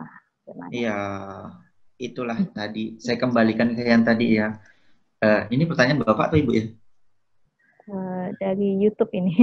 Oh dari YouTube. Jadi dia kalau udah dipublish oleh seorang pengelola, nah ini tidak boleh sebenarnya seorang pengelola langsung publish-publish artikel dapat dari mana itu tidak boleh kecuali memang uh, autornya itu memang mensubmit di situ, ya. Jadi aturan yang pertama itu yang kita kembalikan kembali pada proses agar kita tidak diklaim, ya. Misalnya dia memang harus ada pernyataan. Jadi surat pernyataan itu yang terpenting di awalnya. Ya, kalau memang uh, kekurangan author ya mau tidak mau kita pasti akan mundur terbitnya. Ya, mau tidak mau. Ya, karena kalau kita misalnya cuma ada lima, ya, cuma ada lima, sedangkan syarat untuk mengajukan akreditasi lima, jadi pas gitu ya. Tapi kalau ada empat, kurang satu, misalnya uh, apa namanya penulisnya kurang untuk mengajukan akreditasi berarti kan tidak bisa tidak memenuhi syarat otomatis kita harus menunggu mau tidak mau harus dari memang penulisnya langsung ya memang kesalahan jadi kalau menurut saya itu memang kesalahan pengelola karena autor tidak mengetahui bahwa artikel tersebut telah dipublish di jurnalnya begitu jadi hmm. harus konfirmasi terlebih dahulu hmm. ya mungkin nah, begitu ya bapak-bapak, ibu-ibu pengelola jurnal di sini. Uh, jika masih ada uh, yang kurang jelas ataupun ingin ditanyakan, silakan uh, raise hand di sini. Jadi uh, langsung ditanyakan uh, tanpa melalui via chat, langsung dibicarakan di sini.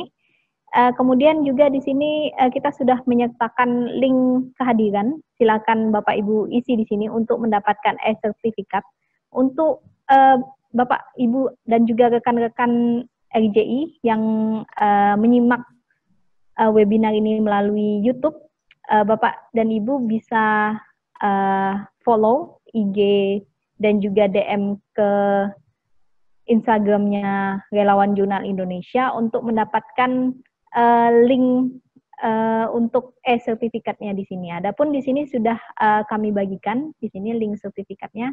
Kemudian juga untuk materi pada hari ini juga kita sudah membagikan link untuk materinya. Uh, bagaimana? Mungkin uh, masih Selamat, ada pertanyaan? Selamat sore, mau bertanya. Uh, silahkan Pak iya, Martin. Ya, perkenalkan saya Martin Sianipar, pengelola Journal Maker dari STI Sultan Agung Pematang Siantar. Ini saya jadi timbul pertanyaan, Pak, tentang pengelolaan jurnal. Ini kan saya baru di dibuat kampus untuk mengelola jurnal. Sebelumnya kita menggunakan sistem quick submit.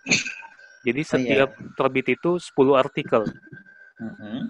Jadi untuk ini edisi berikutnya, apakah bisa kita udah menjalankan proses OJS jadi kalau misalnya kita terbitkan hanya lima artikel saja, yang sebelumnya menggunakan quick submit 10 artikel, apakah itu bisa, Pak? Oke. Okay. Iya, Pak. Itu aja yang mau saya tanya. Bisa untuk diajukan untuk akreditasi? Siap, siap. Terima kasih, langsung, Pak. Ini langsung ya, langsung saya jawab ya. Iya, silakan. Okay. Uh, jadi uh, sebelumnya pas waktu quick submit gitu ya, dia ada 10 artikel. Iya. Pertanyaannya kan gitu. Iya, uh, kemudian sekarang kita mau lima gitu ya. Nah ya, mau lima gitu ya Pak. Nah sebenarnya pada uh, tadi mungkin penjelasan yang pertama kali ya dengan Pak Yudi. Jadi uh, syarat agritasi itu minimal lima lima artikel ya. Namun alangkah baiknya kita lebihkan satu Bapak. Takutnya nanti ditemukan salah satu sudah dipublish di tempat yang lain.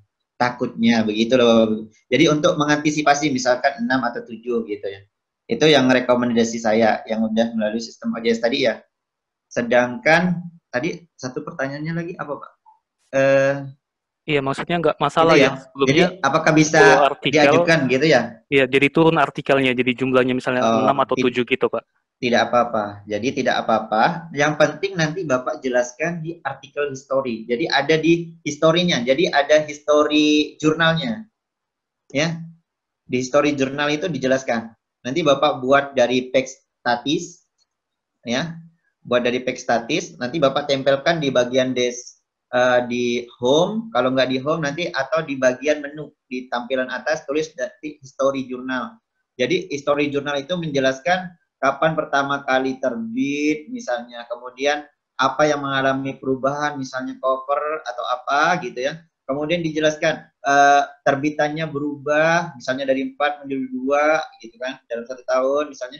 Kemudian dijelaskan lagi uh, ada perubahan jumlah misalnya jumlah artikel yang diterbitkan. Misalnya pas waktu pertama itu kenapa? Alasannya di situ dijelaskan ya di history jurnal ya Pak.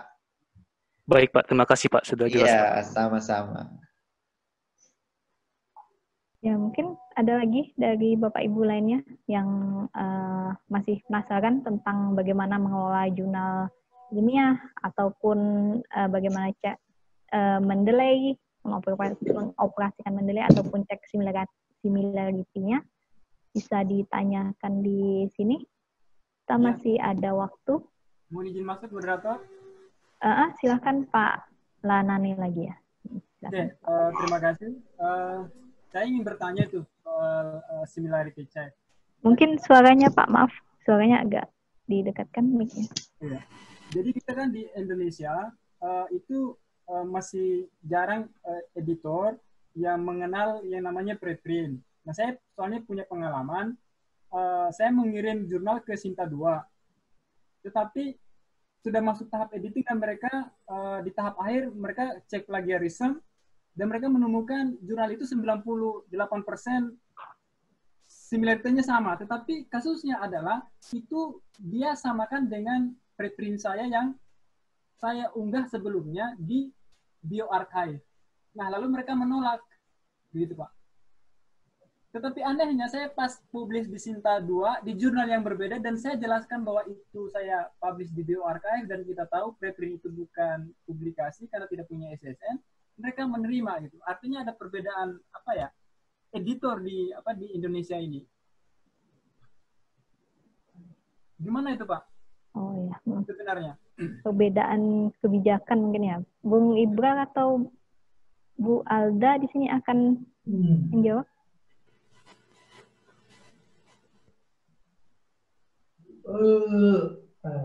Silakan Bu okay. Alda. Oke ya, jadi uh, udah tahap akhir baru dicek lagi plagiatnya gitu ya Pak Lanane ya? Iya, itu sudah editing itu Pak. Mm -mm. Jadi begini Pak, uh, biasanya itu memang di awal kita cek plagiatnya. Ketika sudah masuk prosesnya, yaitu udah dikatakan diterima dan apa udah lepas lah dari plagiat gitu ya. Jadi ketika di awal dicek lagi, di akhir juga dicek lagi, itu ya mungkin memang kebijakan jurnalnya seperti itu kali ya Pak. Tapi saya rasa itu nggak umum dilakukan dua kali cek plagiat atau uh, memang ada uh, apa aturannya di jurnal tersebut yang Bapak yang Bapak baca atau gimana Pak? Nggak ada, saya kan uh, jelasin karena mereka bilang uh, kalau preprint Pak kami khawatir karena katanya jurnal ini kan sudah Sinta dua. Nanti kalau ketemu plagiarisme seperti ini, nanti turun nilai jurnalnya. Tapi saya kan mempertanyakan waktu itu, tapi mereka nggak bisa memberikan jawaban juga, mungkin nggak tahu kenapa. Oh iya. Uh, bahwa preprint itu Pak di kebijakan Elsevier dengan misalnya Springer itu ada itu. Preprint itu kayak bioarchive atau art archive itu bukan publikasi dan kalaupun top 100% similaritasnya ya pasti karena uh, itu adalah preprint dan itu tulisan saya. Jadi similarity check itu harus di apa di dinilai. Ketika persentasenya tinggi tunggu dulu gitu. Harus dilihat ini jangan-jangan tulisan dia di preprint gitu. Atau okay. seperti itu. Tapi mereka nggak nggak memberikan jawaban juga. Akhirnya saya bilang oh mungkin Indonesia uh, pandangannya soal preprint mungkin belum sampai ke open science begitu. Oke, jadi kalau saya sih uh, belum punya pengalaman gitu ya Pak, karena yang saya pegang juga Sinta 4 dan aturannya nggak seperti itu. Mungkin dari teman-teman narasumber yang lain punya pengalaman uh, yang mengelola jurnal Sinta 1, Sinta 2, apakah memang mekanismenya seperti itu atau bagaimana? Mungkin Bung Ibra ataupun Pak Elman Syah di sini Halo. ada ingin berbagi. Ya, silakan Pak Elman Syah. Boleh kan? Iya, ya. menggunakan Biasanya kalau setahu saya sih, kalau untuk cek plagiarism itu biasanya di awal sebelum di, diserahkan ke ya. uh, reviewer.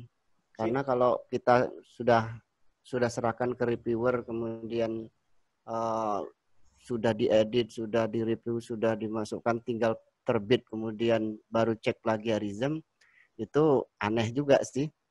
Tapi biasanya itu uh, namanya pengelola jurnal ya. Jurnal itu kan ya banyak kebijakan-kebijakan tertentu yang diserahkan kepada pengelola tersebut sehingga agak sulit juga kita untuk membuat eh, ini harus sama begini semua gitu kecuali ada aturan resmi dari uh, dari kementerian atau yang bagian sub pengelola uh, publikasi di Kemenristek Dikti. Sejauh ini saya belum melihat aturan itu. Cuman umumnya itu biasanya di awal. Tapi kalau ada kasus yang kayak gitu tadi itu, uh, saran saya sih cuma satu sebenarnya pendekatannya dengan ini dengan pengelola jurnalnya itu aja. Baik, terima kasih. Yang bagus itu, Pak. Oh, tanya sekalian, Mbak. Nih. Oh ya, silakan Pak Kohil. Ya. Tentang plagiarisme. Kalau misalkan kita submit ke jurnal A, ternyata setelah cek turnitin itu plagiasnya 27 persen. 10 persennya itu dari artikel kita yang disubmit di jurnal lain sebelumnya gitu. Apakah yang itu termasuk plagiat juga, padahal kan dari artikel kita sendiri, Pak, gitu. Halo? Dari artikel sendiri, Pak, ya? Oke, dari artikel, artikel sendiri yang sudah publis di jurnal yang lain, gitu. Oh iya Pak, dulu saya pengalaman kalau untuk ya jadi mohon maaf ini sebenarnya lari ke Mbak Alda ya. Iya nggak apa-apa Pak, silakan Pak. kalau itu saya sering sering menerima permasalahan seperti itu yang mengalami ya. Eh, ketika menerbitkan artikel misalkan ke jurnal Scopus, ada aturan bahwa artikel kita sendiri itu tidak boleh di eh, apa namanya dikutip lagi Oh. Karena disebut sebagai self plagiarism. Itu harus dihindari gitu walaupun tidak sepenuhnya di aturannya seperti itu. Tapi kalau uh, jurnal-jurnal tertentu itu meminta untuk tidak menggunakan uh, buku kita sendiri atau artikel kita, kita sendiri yang sudah pernah terbit. Apalagi kalau misalkan ada kata-kata tertentu atau paragraf tertentu yang ternyata sama dengan uh, artikel yang sudah kita publikasikan sebelumnya. Itu nggak mau mereka terima. Yang jelas disebut sebagai self plagiarism. Ya seperti itu. Citation, Pak.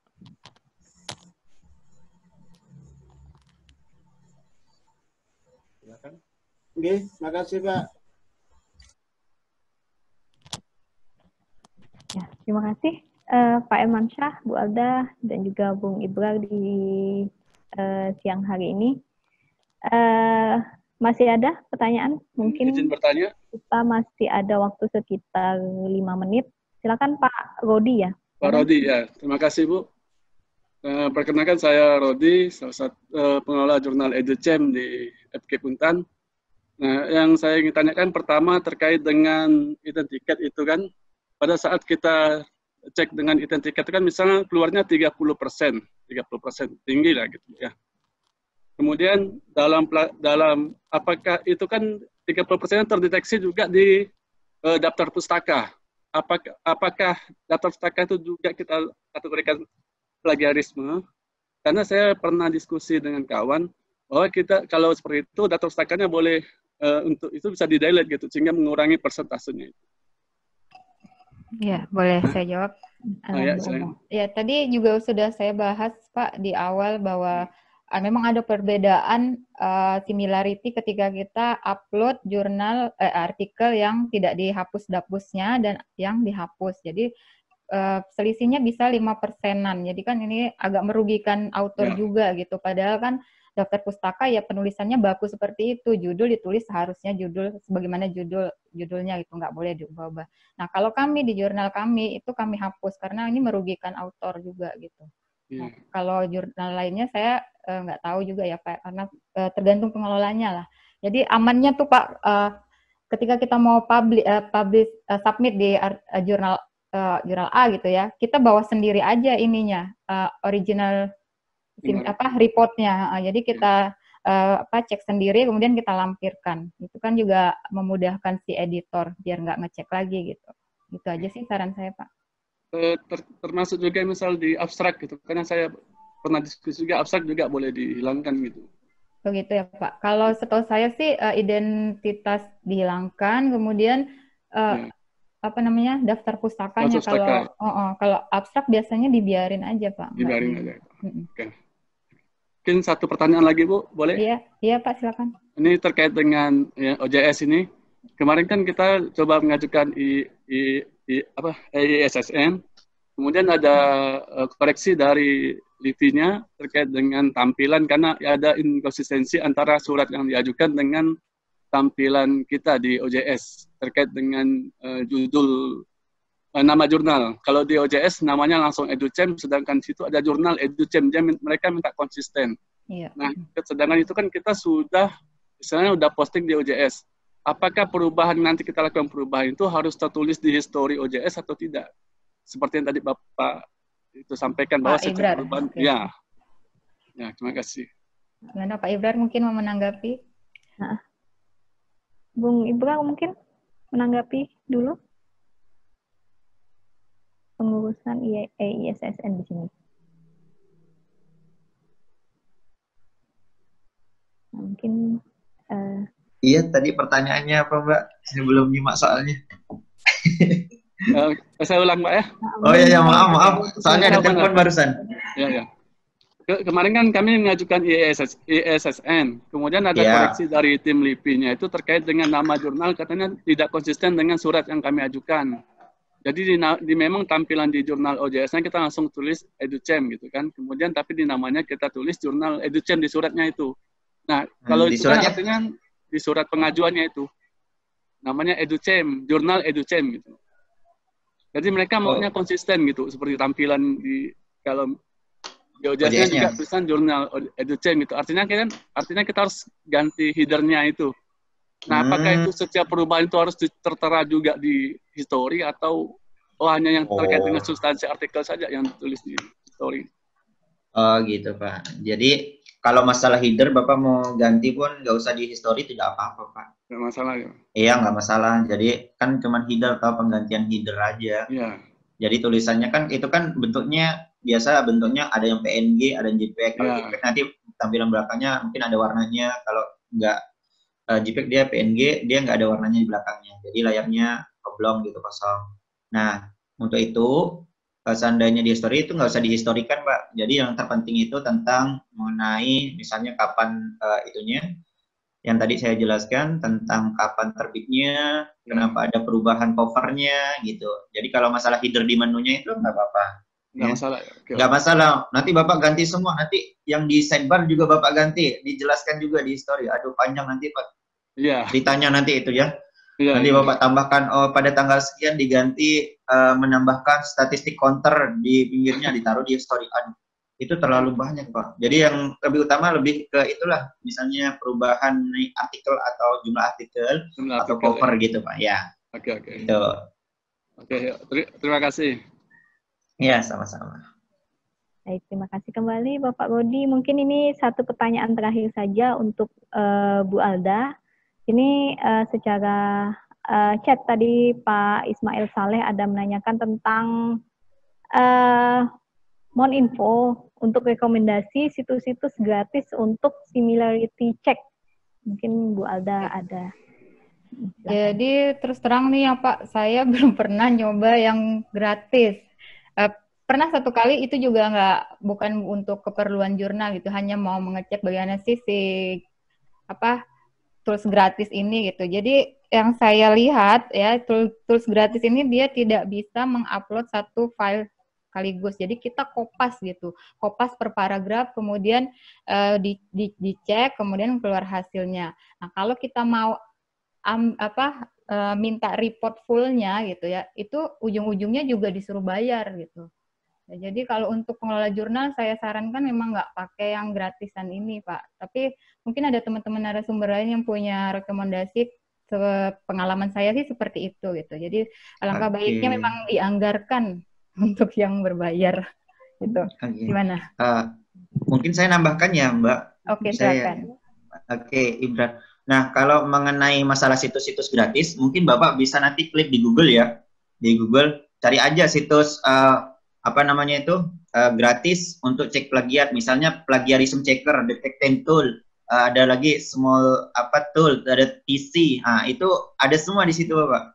Jadi tingkatnya membedakan antara yang gratis dengan yang premium gitu yang yang berbayar itu tingkat sensitivitas dan jumlah kata yang akan diperiksakan. Nah di situ yang membedakan. Nah jadi kalau Bapak mau pengen gratis ada di situ ya. Bisa plagiarism checker ya itu ada ada lagi nanti ada banyak itu pak yang gratis. Bapak ibu tadi yang nanya. Jadi banyak yang gratis. Nanti cek aja di Google itu bisa untuk yang gratisan. Tapi itu kembali lagi tingkat sensitivitas dalam pemeriksaan dan jumlah uh, kata nah itu yang berbeda ya. Dalam uh, mengecek plagiarism checker ya. Terus tadi saya ada baca juga ini yang ada yang bertanya ini ya Mbak kayaknya nih. Nah, setahu saya saat saya publikasi di jurnal reputasi di atas Q2 jika plagiarism tidak lebih dari 10%. Uh, kalau itu standar internasional mungkin ya ada ya, tinggi. Mungkin saya bantu jawab ya. Iya, iya silakan. silakan. Nah, itu standar internasional mungkin rata-rata mungkin ya ada yang 15% ke atas. Misalnya uh, maksudnya dari 1 sampai 15% gitu ya itu standar internasional. Sedangkan kalau ya 25% kita merujuk pada uh, penilaian dari Kemenristek Dikti. Jadi kalau yang internasional itu ada sendiri lebih rendah. Kalau yang uh, nasional itu kita ada rujukan sendiri 25%. Jadi uh, berbeda gitu antara cek plagiat di Indonesia dengan di luar negeri itu memang berbeda tergantung dari pengelola jurnal mau menerapkan yang mana ini. Nah, misalkan kalau di tempat kawan saya itu biasanya 15% ke bawah, misalnya di Poltekkes Kemenkes Yogyakarta, yaitu di jurnal Teknolab yang dikelola oleh uh, Mr. Budi ya, Budi Setiawan biasanya. Uh, kayaknya beliau 15 persen ke bawah karena beliau ingin mengajar mungkin untuk Scopus nanti ya.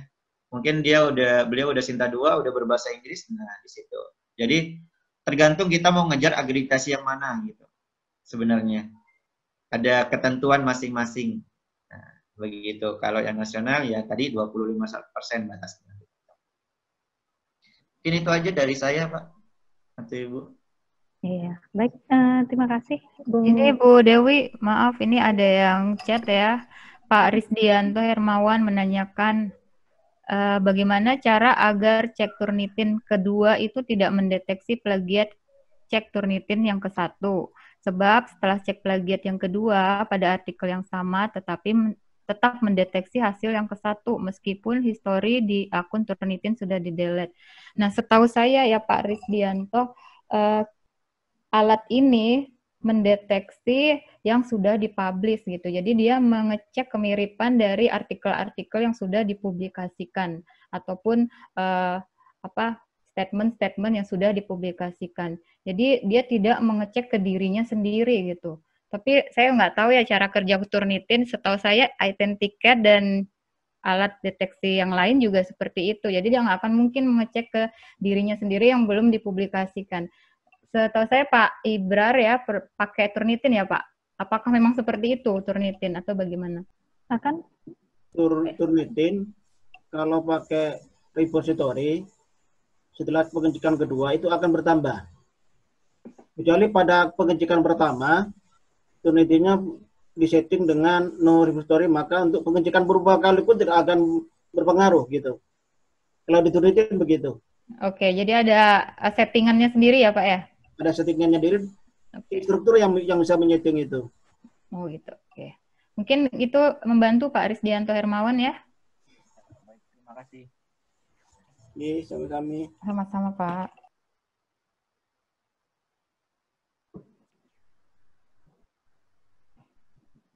Ya, mungkin uh, webinar kita pada hari ini kita cukupkan sekian dulu karena uh, waktunya juga kita terbatas di sini. Uh, saya mengucapkan terima kasih kepada rekan-rekan narasumber di sini, uh, Pak Elmansyah, Pak Heru Yudi, Bu Alda, dan juga Pak Ibral di sini, dan juga Bapak dan Ibu pengelola jurnal dan juga rekan-rekan pengelola jurnal di seluruh Indonesia yang telah bergabung di webinar kita pada hari ini.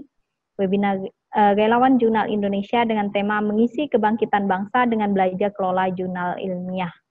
Saya atas nama moderator mohon maaf apabila terdapat kesalahan dan kekurangan uh, pada kegiatan pada hari ini dan juga mohon, mohon maaf apabila ada pertanyaan-pertanyaan yang uh, terlewat ataupun uh, belum uh, cukup puas bagi eh, rekan-rekan yang bertanya belum cukup puas uh, dengan jawaban-jawaban uh, yang kami uh, sajikan. Uh, terima kasih Bapak-bapak dan Ibu-ibu dan juga jangan lupa untuk memfollow uh, Instagram Relawan Jurnal Indonesia dan juga subscribe YouTube channel uh, Relawan Jurnal Indonesia. Uh, dan juga bapak-bapak dan ibu-ibu di sini bisa ikuti juga kegiatan uh, LJI selanjutnya. Mari kita giatkan publikasi. Uh, kami akhiri cukup sekian. Uh, selamat sore dan assalamualaikum warahmatullahi wabarakatuh.